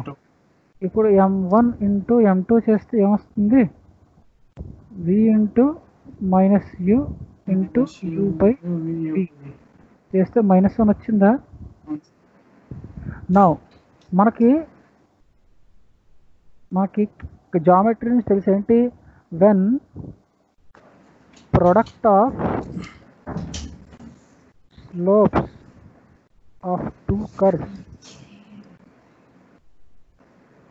Two curves is minus 1 then the curves or lines. ఏదైనా సరే. Curves are perpendicular to each other. ఇది మనకి ఎప్పుడంటే సమ్ నైన్త్ క్లాస్లోనే ఎప్పుడు వస్తుంది ఇది. నేను మళ్ళీ ఆ నైన్త్ క్లాస్కి వెళ్ళి ఆ కాన్సెప్ట్ అక్కడ నుంచి డిస్క్రైబ్ చేయలేను. అక్కడ నుంచి స్టేట్మెంట్ మట్టుకు వాడుకుంటున్నాను. ఇప్పుడు అర్థమైందా నీకు? సెవెంత్ ఎయిత్ నైన్త్ టెన్త్ వీటిలో నీకు మ్యాథమెటిక్స్ ఎందుకు స్ట్రాంగ్గా ఉండాలో? అవి డైరెక్ట్గా వాడేం కానీ అవి ఎక్కడెక్కడ మనం చదువుకునే కాన్సెప్ట్లు మధ్య మధ్యలో దూరుతూ ఉంటాయి ఆ కాన్సెప్ట్లు అక్కడ అవి స్ట్రాంగ్గా ఉంటే గుర్తుపెట్టుకుంటే అవి మనం ఈజీగా ఇక్కడ ఇక్కడ అర్థమైపోతాయి మనకి. సో ఇది మనకి తెలిసిన ఎవరికైతే తెలిసిపోతుంది ఈ ఫ్యాక్ట్ ఏంటది? ఈ then the product of slopes of two curves ఇదొక కర్వ్ ఇదొక కర్వ్ ఇలా రెండు కర్వులకి ఉన్న స్లోప్స్ దీని స్లోప్ దీని స్లోప్ మల్టిప్లై చేసినప్పుడు మైనస్ వన్ అనేది మనకు కనుక ఆన్సర్ వస్తే అంటే అప్పుడు ఇది ఇది పర్పెండిక్యులర్గా ఉంటాయి. అలా ఇక్కడ తీసుకుని అనుకో ఇక్కడ కూడా ఈ పాయింట్ దగ్గర. తీసుకుంటే ఇక్కడ అలా అన్ని దగ్గర పర్పెండిక్యులర్గా వస్తాయి. అర్థమవుతుందా? సో ఇక్కడ ఇది తీసుకొని ఇక్కడ ఫైవ్ ఈక్వల్స్ టు ఒక వాల్యూ వచ్చింది సే కాన్స్టెంట్ సి వన్ దీనికి ఇంకొక వాల్యూ వస్తుంది సి టూ ఇక్కడ ఏ పాయింట్ తీసుకున్నా దానికి వాల్యూ సి టూ అని వస్తుంది. అలా ఇక్కడ five equals to c three ఇక్కడ సి వన్ వచ్చింది కదా అని ఇక్కడ కూడా సి వన్ వస్తుంది అని కాదు. ఈ లైన్ అంతా నీకు ఫైవ్ ఒక వాల్యూ వస్తుంది. ఈ లైన్ అంతా ఫైవ్ ఇంకొక వాల్యూ వస్తుంది. అదవుతుందా ఇదొక ఈక్వీ పొటెన్షియల్ లైన్ ఇదొక ఈక్వీ పొటెన్షియల్ లైన్ అలాగే ఇది ఇంకొక equi potential line so different different values ఉంటాయి ఒక్కోదానికి. ఆ లైన్లో ఎక్కడ తీసుకున్నా దాని వాల్యూ అదే వస్తుంది. అంతే. అర్థమైందా? అలా ఇదొక line psi equals to constant ఇది ఒక సి వన్ అనుకుందాం. అలాగే ఇంకొక స్ట్రీమ్ లైన్ తీసుకుంటే ఏమవుతుంది? దానికి అది కాన్స్టెంట్ ఉంటుంది. ఎక్కడ తీసుకున్నా సై వాల్యూ ఒకటే వస్తుంది. దాని వాల్యూ ఎంత అంటే ఒక constant value some C two అనుకుందాం. అలాగే ఇంకోటి తీసుకుంటే ఇంకోటి. ఇలా తీసుకుంటే ఇది. ఇవన్నీ psi equal to some C three అలా different different psi con lines different different phi lines అంటే equi potential lines stream lines ఇలా ఇలా గీసామనుకో అన్నీ ఎలా ఉంటాయి? ఎక్కడ నువ్వు ఫైవ్ లైన్ గీసినా సై లైన్ గీసినా దానికి ఫైవ్ లైన్ గీస్తే ఆ- లైన్ క్రాస్ చేసుకుంటూ అవి రెండు పర్పెండిక్యులర్గా ఉంటాయి. అది దాని ఉద్దేశం. అందుకే స్లోప్స్ అనేవి ప్రొడక్ట్ చేస్తే మైనస్ వన్ వచ్చింది. అర్థమైందా? ఉమ్. ఛార్జింగ్ పెట్టేస్తాను లేకపోతే ఆఫ్ అయిపోతుంది.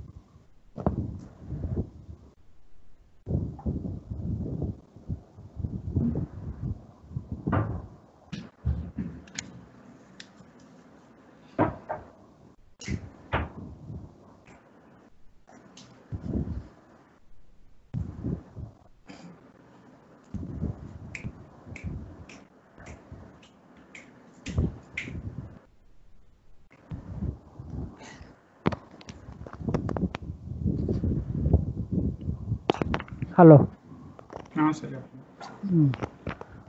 సో నీకు ఏమర్థమైంది దీని నుంచి equi potential line and stream lines are perpendicular to each other అంతేనా? ఓకే. సో ఇక్కడ నుంచి రాసే ఎక్కడ నుంచి? ఇక్కడ నుంచి ఈ పార్ట్ అంతా. లాస్ట్లో డయాగ్రామ్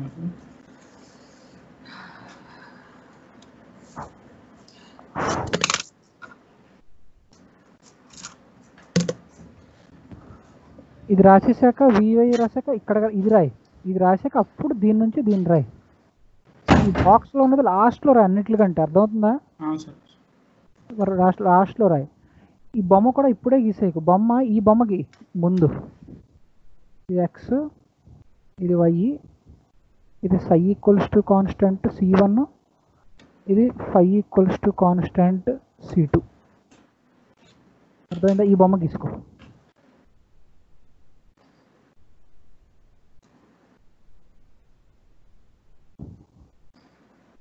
అర్థమవుతుందా? ఇది ఇది రాసేసాక ఈ కన్సిడర్ ఇదంతా రాసేసాక ఫస్ట్ ఈ బొమ్మ గీసేసి బొమ్మ గీసే ఫస్ట్ ఇది రాసేసాక అప్పుడు m let m one be slope అని చెప్పి ఇదంతా రాయి ఎం టూ బి స్లోప్ అని ఇదంతా రాయి. అప్పుడు m one into m two చెయ్యి తర్వాత లాస్ట్లో ఈ బొమ్మ గీసే ఈ బొమ్మ కాదు ఈ లైన్ రాసే వన్ ప్రొడక్ట్ ఆఫ్ ఇదంతా రాసే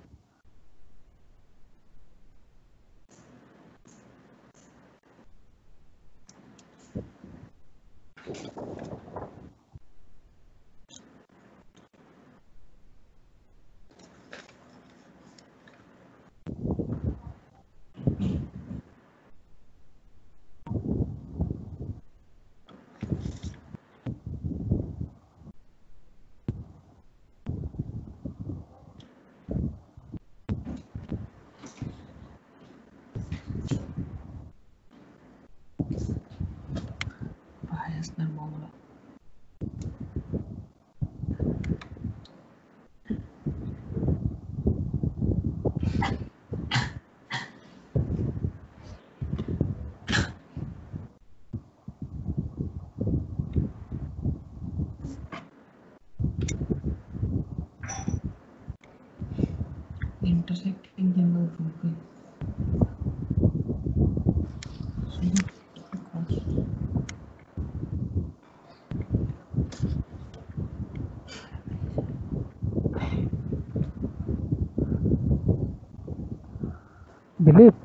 సార్ దీన్ని doh y by doh z కదా పార్షియల్ డిఫరెన్షియేషన్స్ కింద రాసుకో. సార్. అంటే త్రీ డైమెన్షన్స్లో కూడా పాసిబిలిటీ ఉంది కదా. మనం ప్రస్తుతానికి ఎక్స్వై ప్లేన్ వరకే చూసుకుంటున్నాం కనుక పార్షియల్ డిఫరెన్షియేషన్స్ కన్సిడర్ చేస్తున్నాం.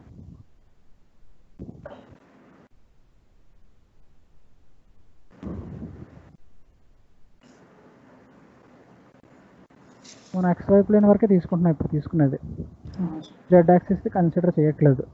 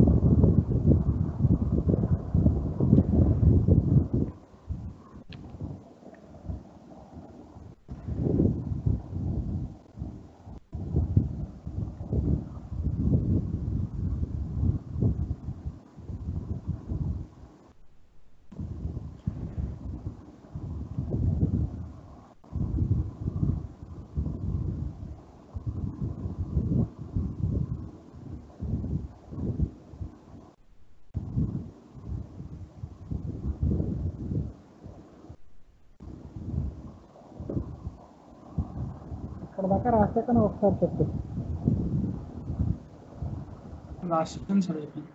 సార్ రాస్తావా. ఓకే ఈ బొమ్మ కూడా గీస్తావు కదా ముందే? ఇప్పుడు ఒక లైన్ రాయి దీని తర్వాత. ఏంటంటే hence hence a streamline streamline streamline and equipotential line equipotential line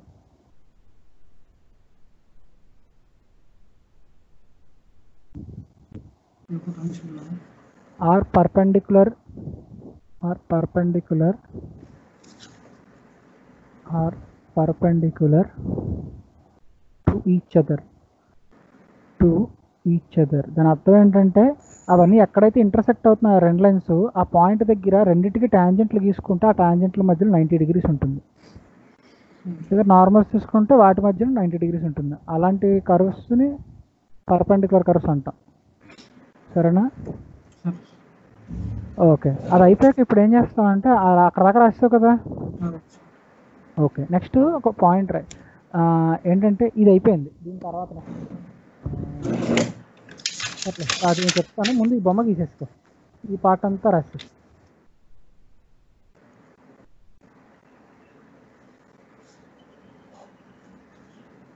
ఇదంతా రాసే ఆ బాక్స్లో నువ్వు. రాసి అప్పుడు చెప్తా. నేను చెప్పాలనుకున్న పాయింట్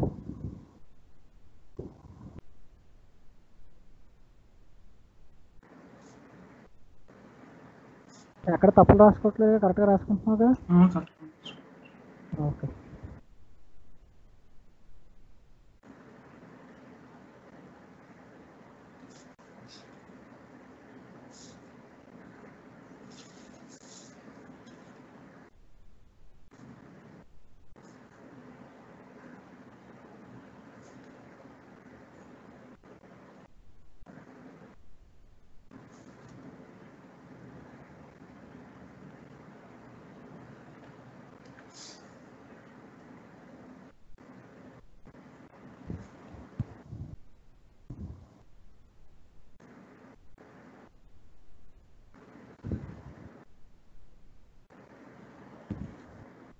ఇది a one five equals to a one ఇక్కడ five equal to a two ఇక్కడ five equal to a three అంటే కాన్స్టెంట్లు a one a two a three c one c two c three అవన్నీ కాన్స్టెంట్స్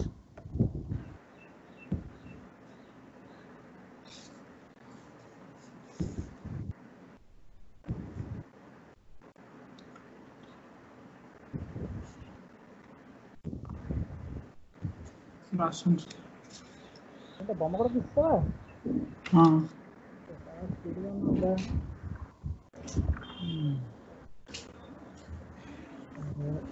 ఇంకోటి ఏంటో ఇందాక చెప్తా అన్నాను ఏంటది? ఒకటి అది చెప్తాను డెరివేషన్ చెప్తాను. ముందు ఇది రాసుకో ఒకటి ఏంటంటే ఒకటి కంక్లూజన్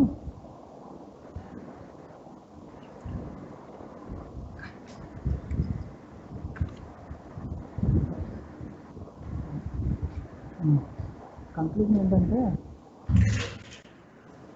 we have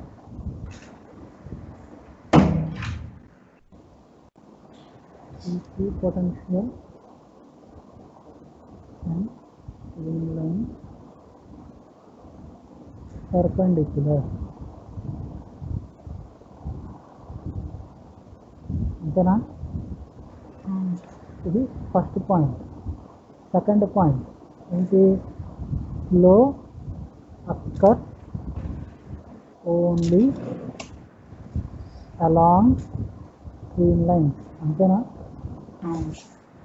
అంటే ఏంటి ఇంప్లైస్లో across stream line equal to zero అంటే ఒక స్ట్రీమ్ లైన్ ఉంది అంటే ఫ్లో అనేది దాని గుండానే వెళ్తుంది. అక్రాస్ వెళ్ళదు. అంతేనా.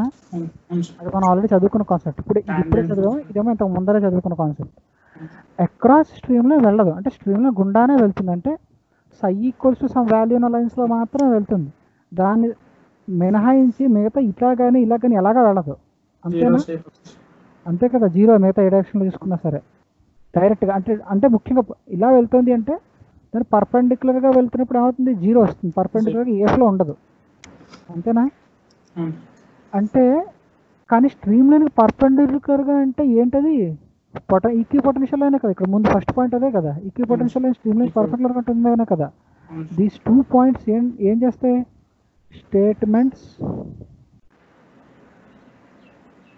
one and two employees along equipotential line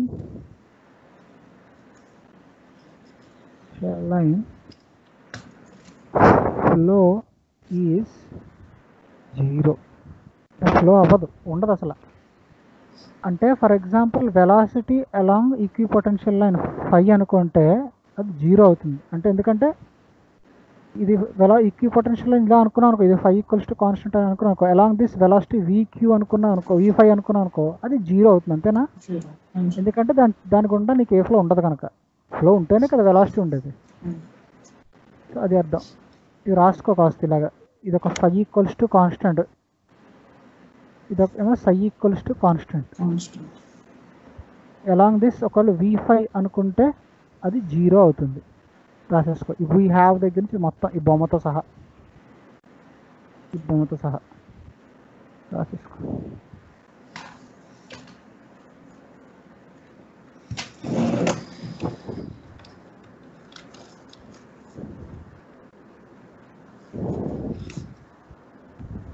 అర్థమవుతుందా కాన్సెప్ట్ చెప్తుంది. అయిపోయింది. ఇక్కడతో నీకు ఫ్లూయిడ్ కైనమాటిక్స్ అయిపోయింది.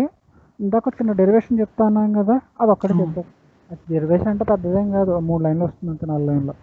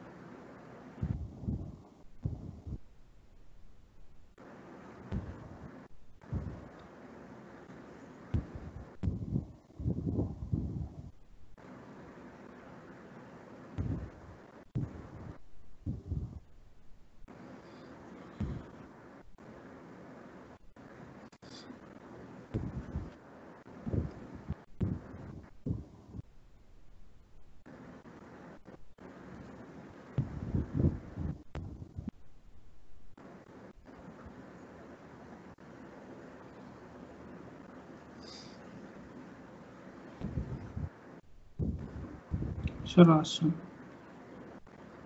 బొమ్మ తీసేస్తున్నావా ఆ,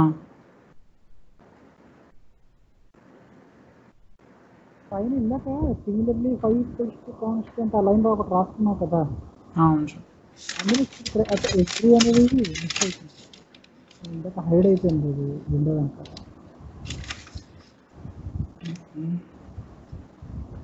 సేమ్ ఎట్ ఎవరి ఇయర్ సార్ అట్ ఎవ్రీ పాయింట్కి ఈజ్ సేమ్ అని చెప్పి ఆ పాయింట్ రాసేసి ఉంటుంది అట్ ఎవ్రీ రాసి సార్ ఇప్పుడు ఒకసారి దీంట్లో రాసి.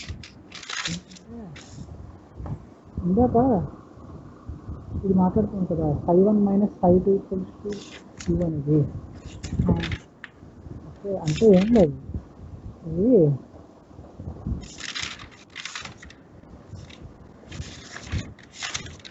ఈ వన్ అనేది దగ్గర ఒక స్ట్రీమ్లో ఉంటుంది. ఒక స్ట్రీమ్లో ఉంటుంది లేదా ఫైవ్ టూ దగ్గర ఇంకొక స్ట్రీమ్లో ఉంటుంది. ఆ రెండింటిని పర్ఫెక్ట్గా జాయిన్ చేస్తున్నప్పుడు ఆ పాయింట్స్ని అక్కడ ఒకటి దీనికి ప్యారల్గా మధ్యలో ఇంకా స్ట్రీమ్లెస్ బోల్డ్ ఉంటాయి కదా. ఆ మొత్తం ఫ్లో అవుతూనే ఉంటాయి కదా మొత్తం స్లో అనేది. మొత్తం డిశ్చార్జ్ ఎంత అనేది మనం కనుక్కుంటున్నాం అనమాట అర్థమైందా?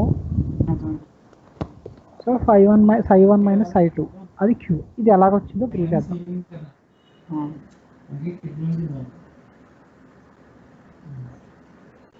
ఇక్కడ సై వన్ అనుకో ఈ పాయింట్ పి వన్ దగ్గర ఇక్కడ సై టూ అనుకో అట్ పాయింట్ పి టూ లేదా ఇక పాయింట్ ఏ అనుకో ఇటు పాయింట్ బి అనుకో ఇంకా బెటర్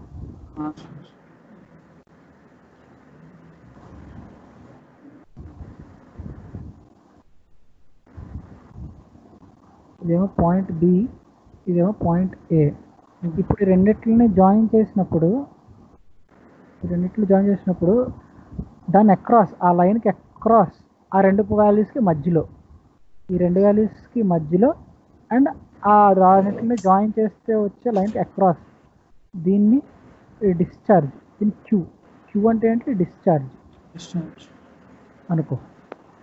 ఇది ఇలాగా త్రీ డైమెన్షన్లో తీసుకున్నప్పుడు ఇలా వస్తుంది. ఇది అంటే ప్రస్తుతం దీన్ని చూపించింది వన్ వన్ దాని ఏంటది? మర్చిపోయాను. టూ. డైమెన్షన్స్ చూపించింది టూ డైమెన్షన్స్ ఉన్నాయి కానీ త్రీ డైమెన్షన్ ఉంటుంది కదా ఫ్లో అనేది. అంటే ఇది does not depend on other అన్నట్టుగా ఏవో మాట్లాడుకున్నాం తర్వాత సంగతి. ప్రస్తుతానికి ఆ విత్ ఆ విత్ ఏదైతే ఉందో ఈ విత్ ఆ విత్ వన్ యూనిట్ అనుకో. అంటే breadth b equals to one unit ఓకేనా ఓకే ఇప్పుడు నెక్స్ట్ ఇంకొకటి ఏంటి? ఇది సై వన్ వాల్యూ ఉన్న లైన్ ఇది సై టూ ఉన్న వాల్యూ లైన్. దాని మధ్యలో అంతా మనం ఫ్లో కనుక్కోవాలి ఇప్పుడు. అది క్యూ అని ప్రూవ్ చేయాలి.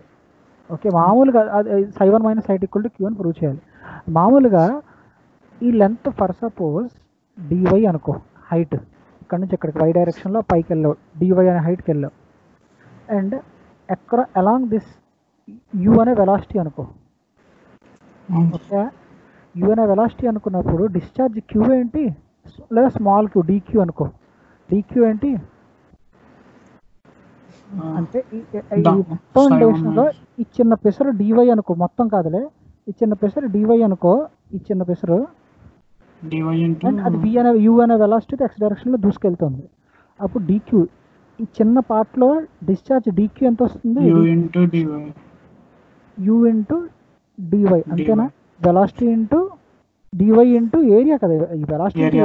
ఏవి కదా వెలాసిటీ రాస్తే యూ ఏరియా ఏమవుతుంది d y into one. One. ఈ విట్టు ఇంటూ థిక్నెస్ ఎంత అంటే బ్రెత్ ఎంత అంటే వన్ యూనిటే కదా? One unit. ఇలా ఉంది. ఇలా వన్ యూనిట్ ఉంది. అర్థమవుతుందా? ఇది మన పర్పెండిక్యులర్ టు ప్లేన్ ఇది. ఇది మన along the plane in the plane ఇది. ఇది. డివై అనేది. దీనికి పర్పెండిక్యులర్ అంటే ఇలా ఉంది. Sir. Into the plane. So area ఆ cross section area d y into one velocity u అంటే ఏంటి? యూ ఇంటూ డివైయే కదా? డిక్యూ అంటే. ఇప్పుడు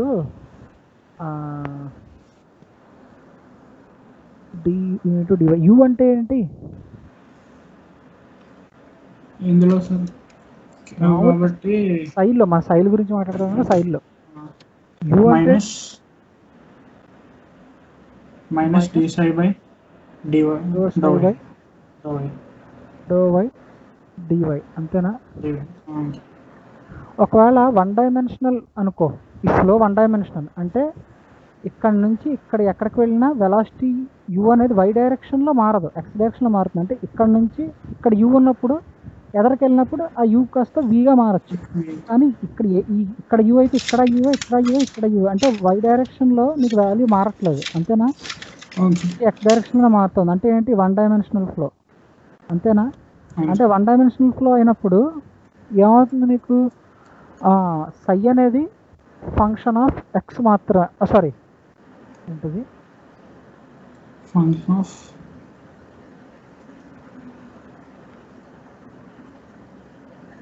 నేను తప్పు రాశాను డైరెక్షన్ అటాక్ వచ్చారు అవుతుంది. డైరెక్షన్ వెళ్ళేదైతే ఇటే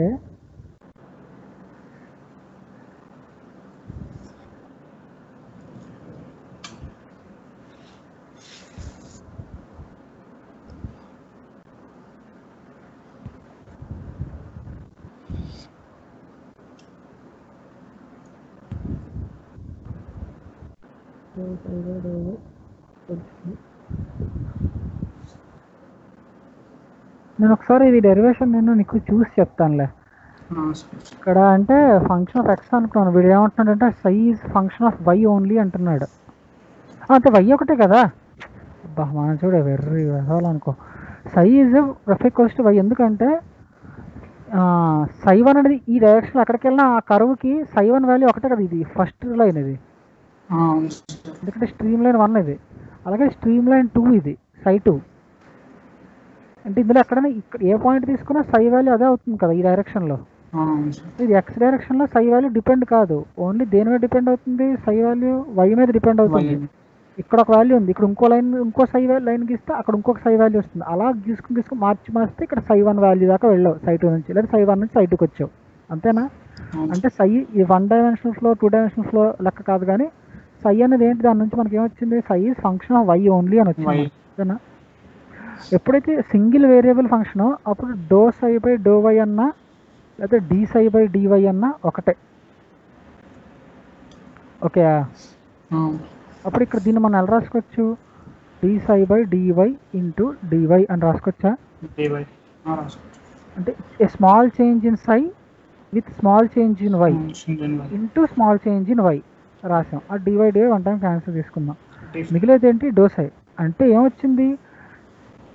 డిక్యూ ఈక్వల్స్ టు డిసై అని వచ్చింది. Small change in q is I mean a small discharge a very little discharge is equal to a small change in psi అంటే ఓవరాల్ డిశ్చార్జ్ ఏమొస్తుంది? Psi one minus psi two కదా. Psi change. Total overall change నేను చిన్న పార్ట్లో discharge ఎంత వస్తుంది అంటే ఇక్కడ నుంచి ఇక్కడికి వచ్చినప్పుడు సై వాల్యూ ఎంత మారింది అనేది వచ్చింది. అదే నేను ఇక్కడ నుంచి ఇక్కడ దాకా ఉన్న మధ్యలో మొత్తం డిశ్చార్జ్ తెలుసుకోవాలంటే ఎంత వస్తుంది అని తెలుసుకోవాలంటే మొత్తం ఇంటిగ్రేషన్ చేస్తాను. ఇంటిగ్రేషన్ చేసినప్పుడు అంటే ఏంటి? సై వన్ నుంచి సై టూ మైనస్ చేయాలి. అర్థమైందా? అర్థం. ఓకే. ఇది మైనస్ ఉంది. నేను యాక్చువల్గా డిశ్చార్జ్ ఇన్ టర్మ్స్ వాల్యూ చెప్తున్నాను. ప్లస్ అయినా మైనస్ అయినా మాట్లాడట్లేదు. ఇన్ టర్మ్స్ ఆఫ్ వాల్యూ చెప్తున్నాను. సో వాల్యూ వైజ్ చూసుకుంటే మోడ్ అనమాట అంటే నేను ఏం తీసుకున్నా psi one minus psi two positive వచ్చినా నెగిటివ్ వచ్చినా నేను ఏం తీసుకుంటాను? దాని ఓవరాల్ వాల్యూ మాత్రమే తీసుకున్నాను సైన్ తీసుకున్నాను ఆ వాల్యూ ఎంత వస్తుంది? దే దేన్ని ఇస్తుంది ఆ వాల్యూ క్యూని ఇస్తుంది. అర్థమవుతుందా. ఓకే. ఎప్పుడు ఈ కండిషన్ మనకి విత్ ఈజ్ యూనిటీ? మన అండర్ దిస్ కండిషన్ మనం సాల్వ్ చేసాం. విత్ అనేది యూనిటీ తీసుకున్నాం. ఈ ఫ్లో థర్డ్ డైమెన్షన్లో విత్ డెప్త్ విత్ ఏమనుకుంటావు దీన్ని అనుకో. అందులో యూనిట్ ఈజ్ వన్ యూనిట్ అని తీసుకుంటే ఇది ఇలా వచ్చిందనమాట. దాన్ని మనం ఎక్స్టెండ్ చేసుకోవచ్చు. టోటల్ థర్డ్ యూనిట్ అయినా సరే ఏదైనా సరే ఎక్కడైనా మనకు ఫ్లో అనేది q equals to for example ఒక పైప్ ఏదో ఇచ్చాడు. సామి ఏదో ఇచ్చాడు మొత్తంకి ఇలాగా. ఇచ్చి దాంట్లో నుంచి క్యూ వాల్యూ ఇచ్చాడు. లేదా ఏ అండ్ వి వాల్యూస్ ఇచ్చాడు అనుకో అప్పుడు క్యూ వాల్యూ కనుక్కోవచ్చు.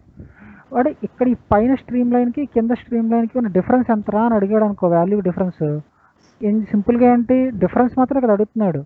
మన క్యూ. అంటేనే కదా difference psi one minus psi two so అదే క్యూ వాల్యూ కనుక్కొని ఇదే psi one minus psi two value అని చెప్తాం. అర్థమవుతుందా? అర్థం. సో ఇందాక నేను ఇక్కడ నీకు ఈ ఈక్వేషన్ అలా వచ్చిందనమాట. ఎలా వచ్చింది అర్థమైందా? నీకు డెరివేషన్ రాసుకుంటావా అక్కర్లేదా?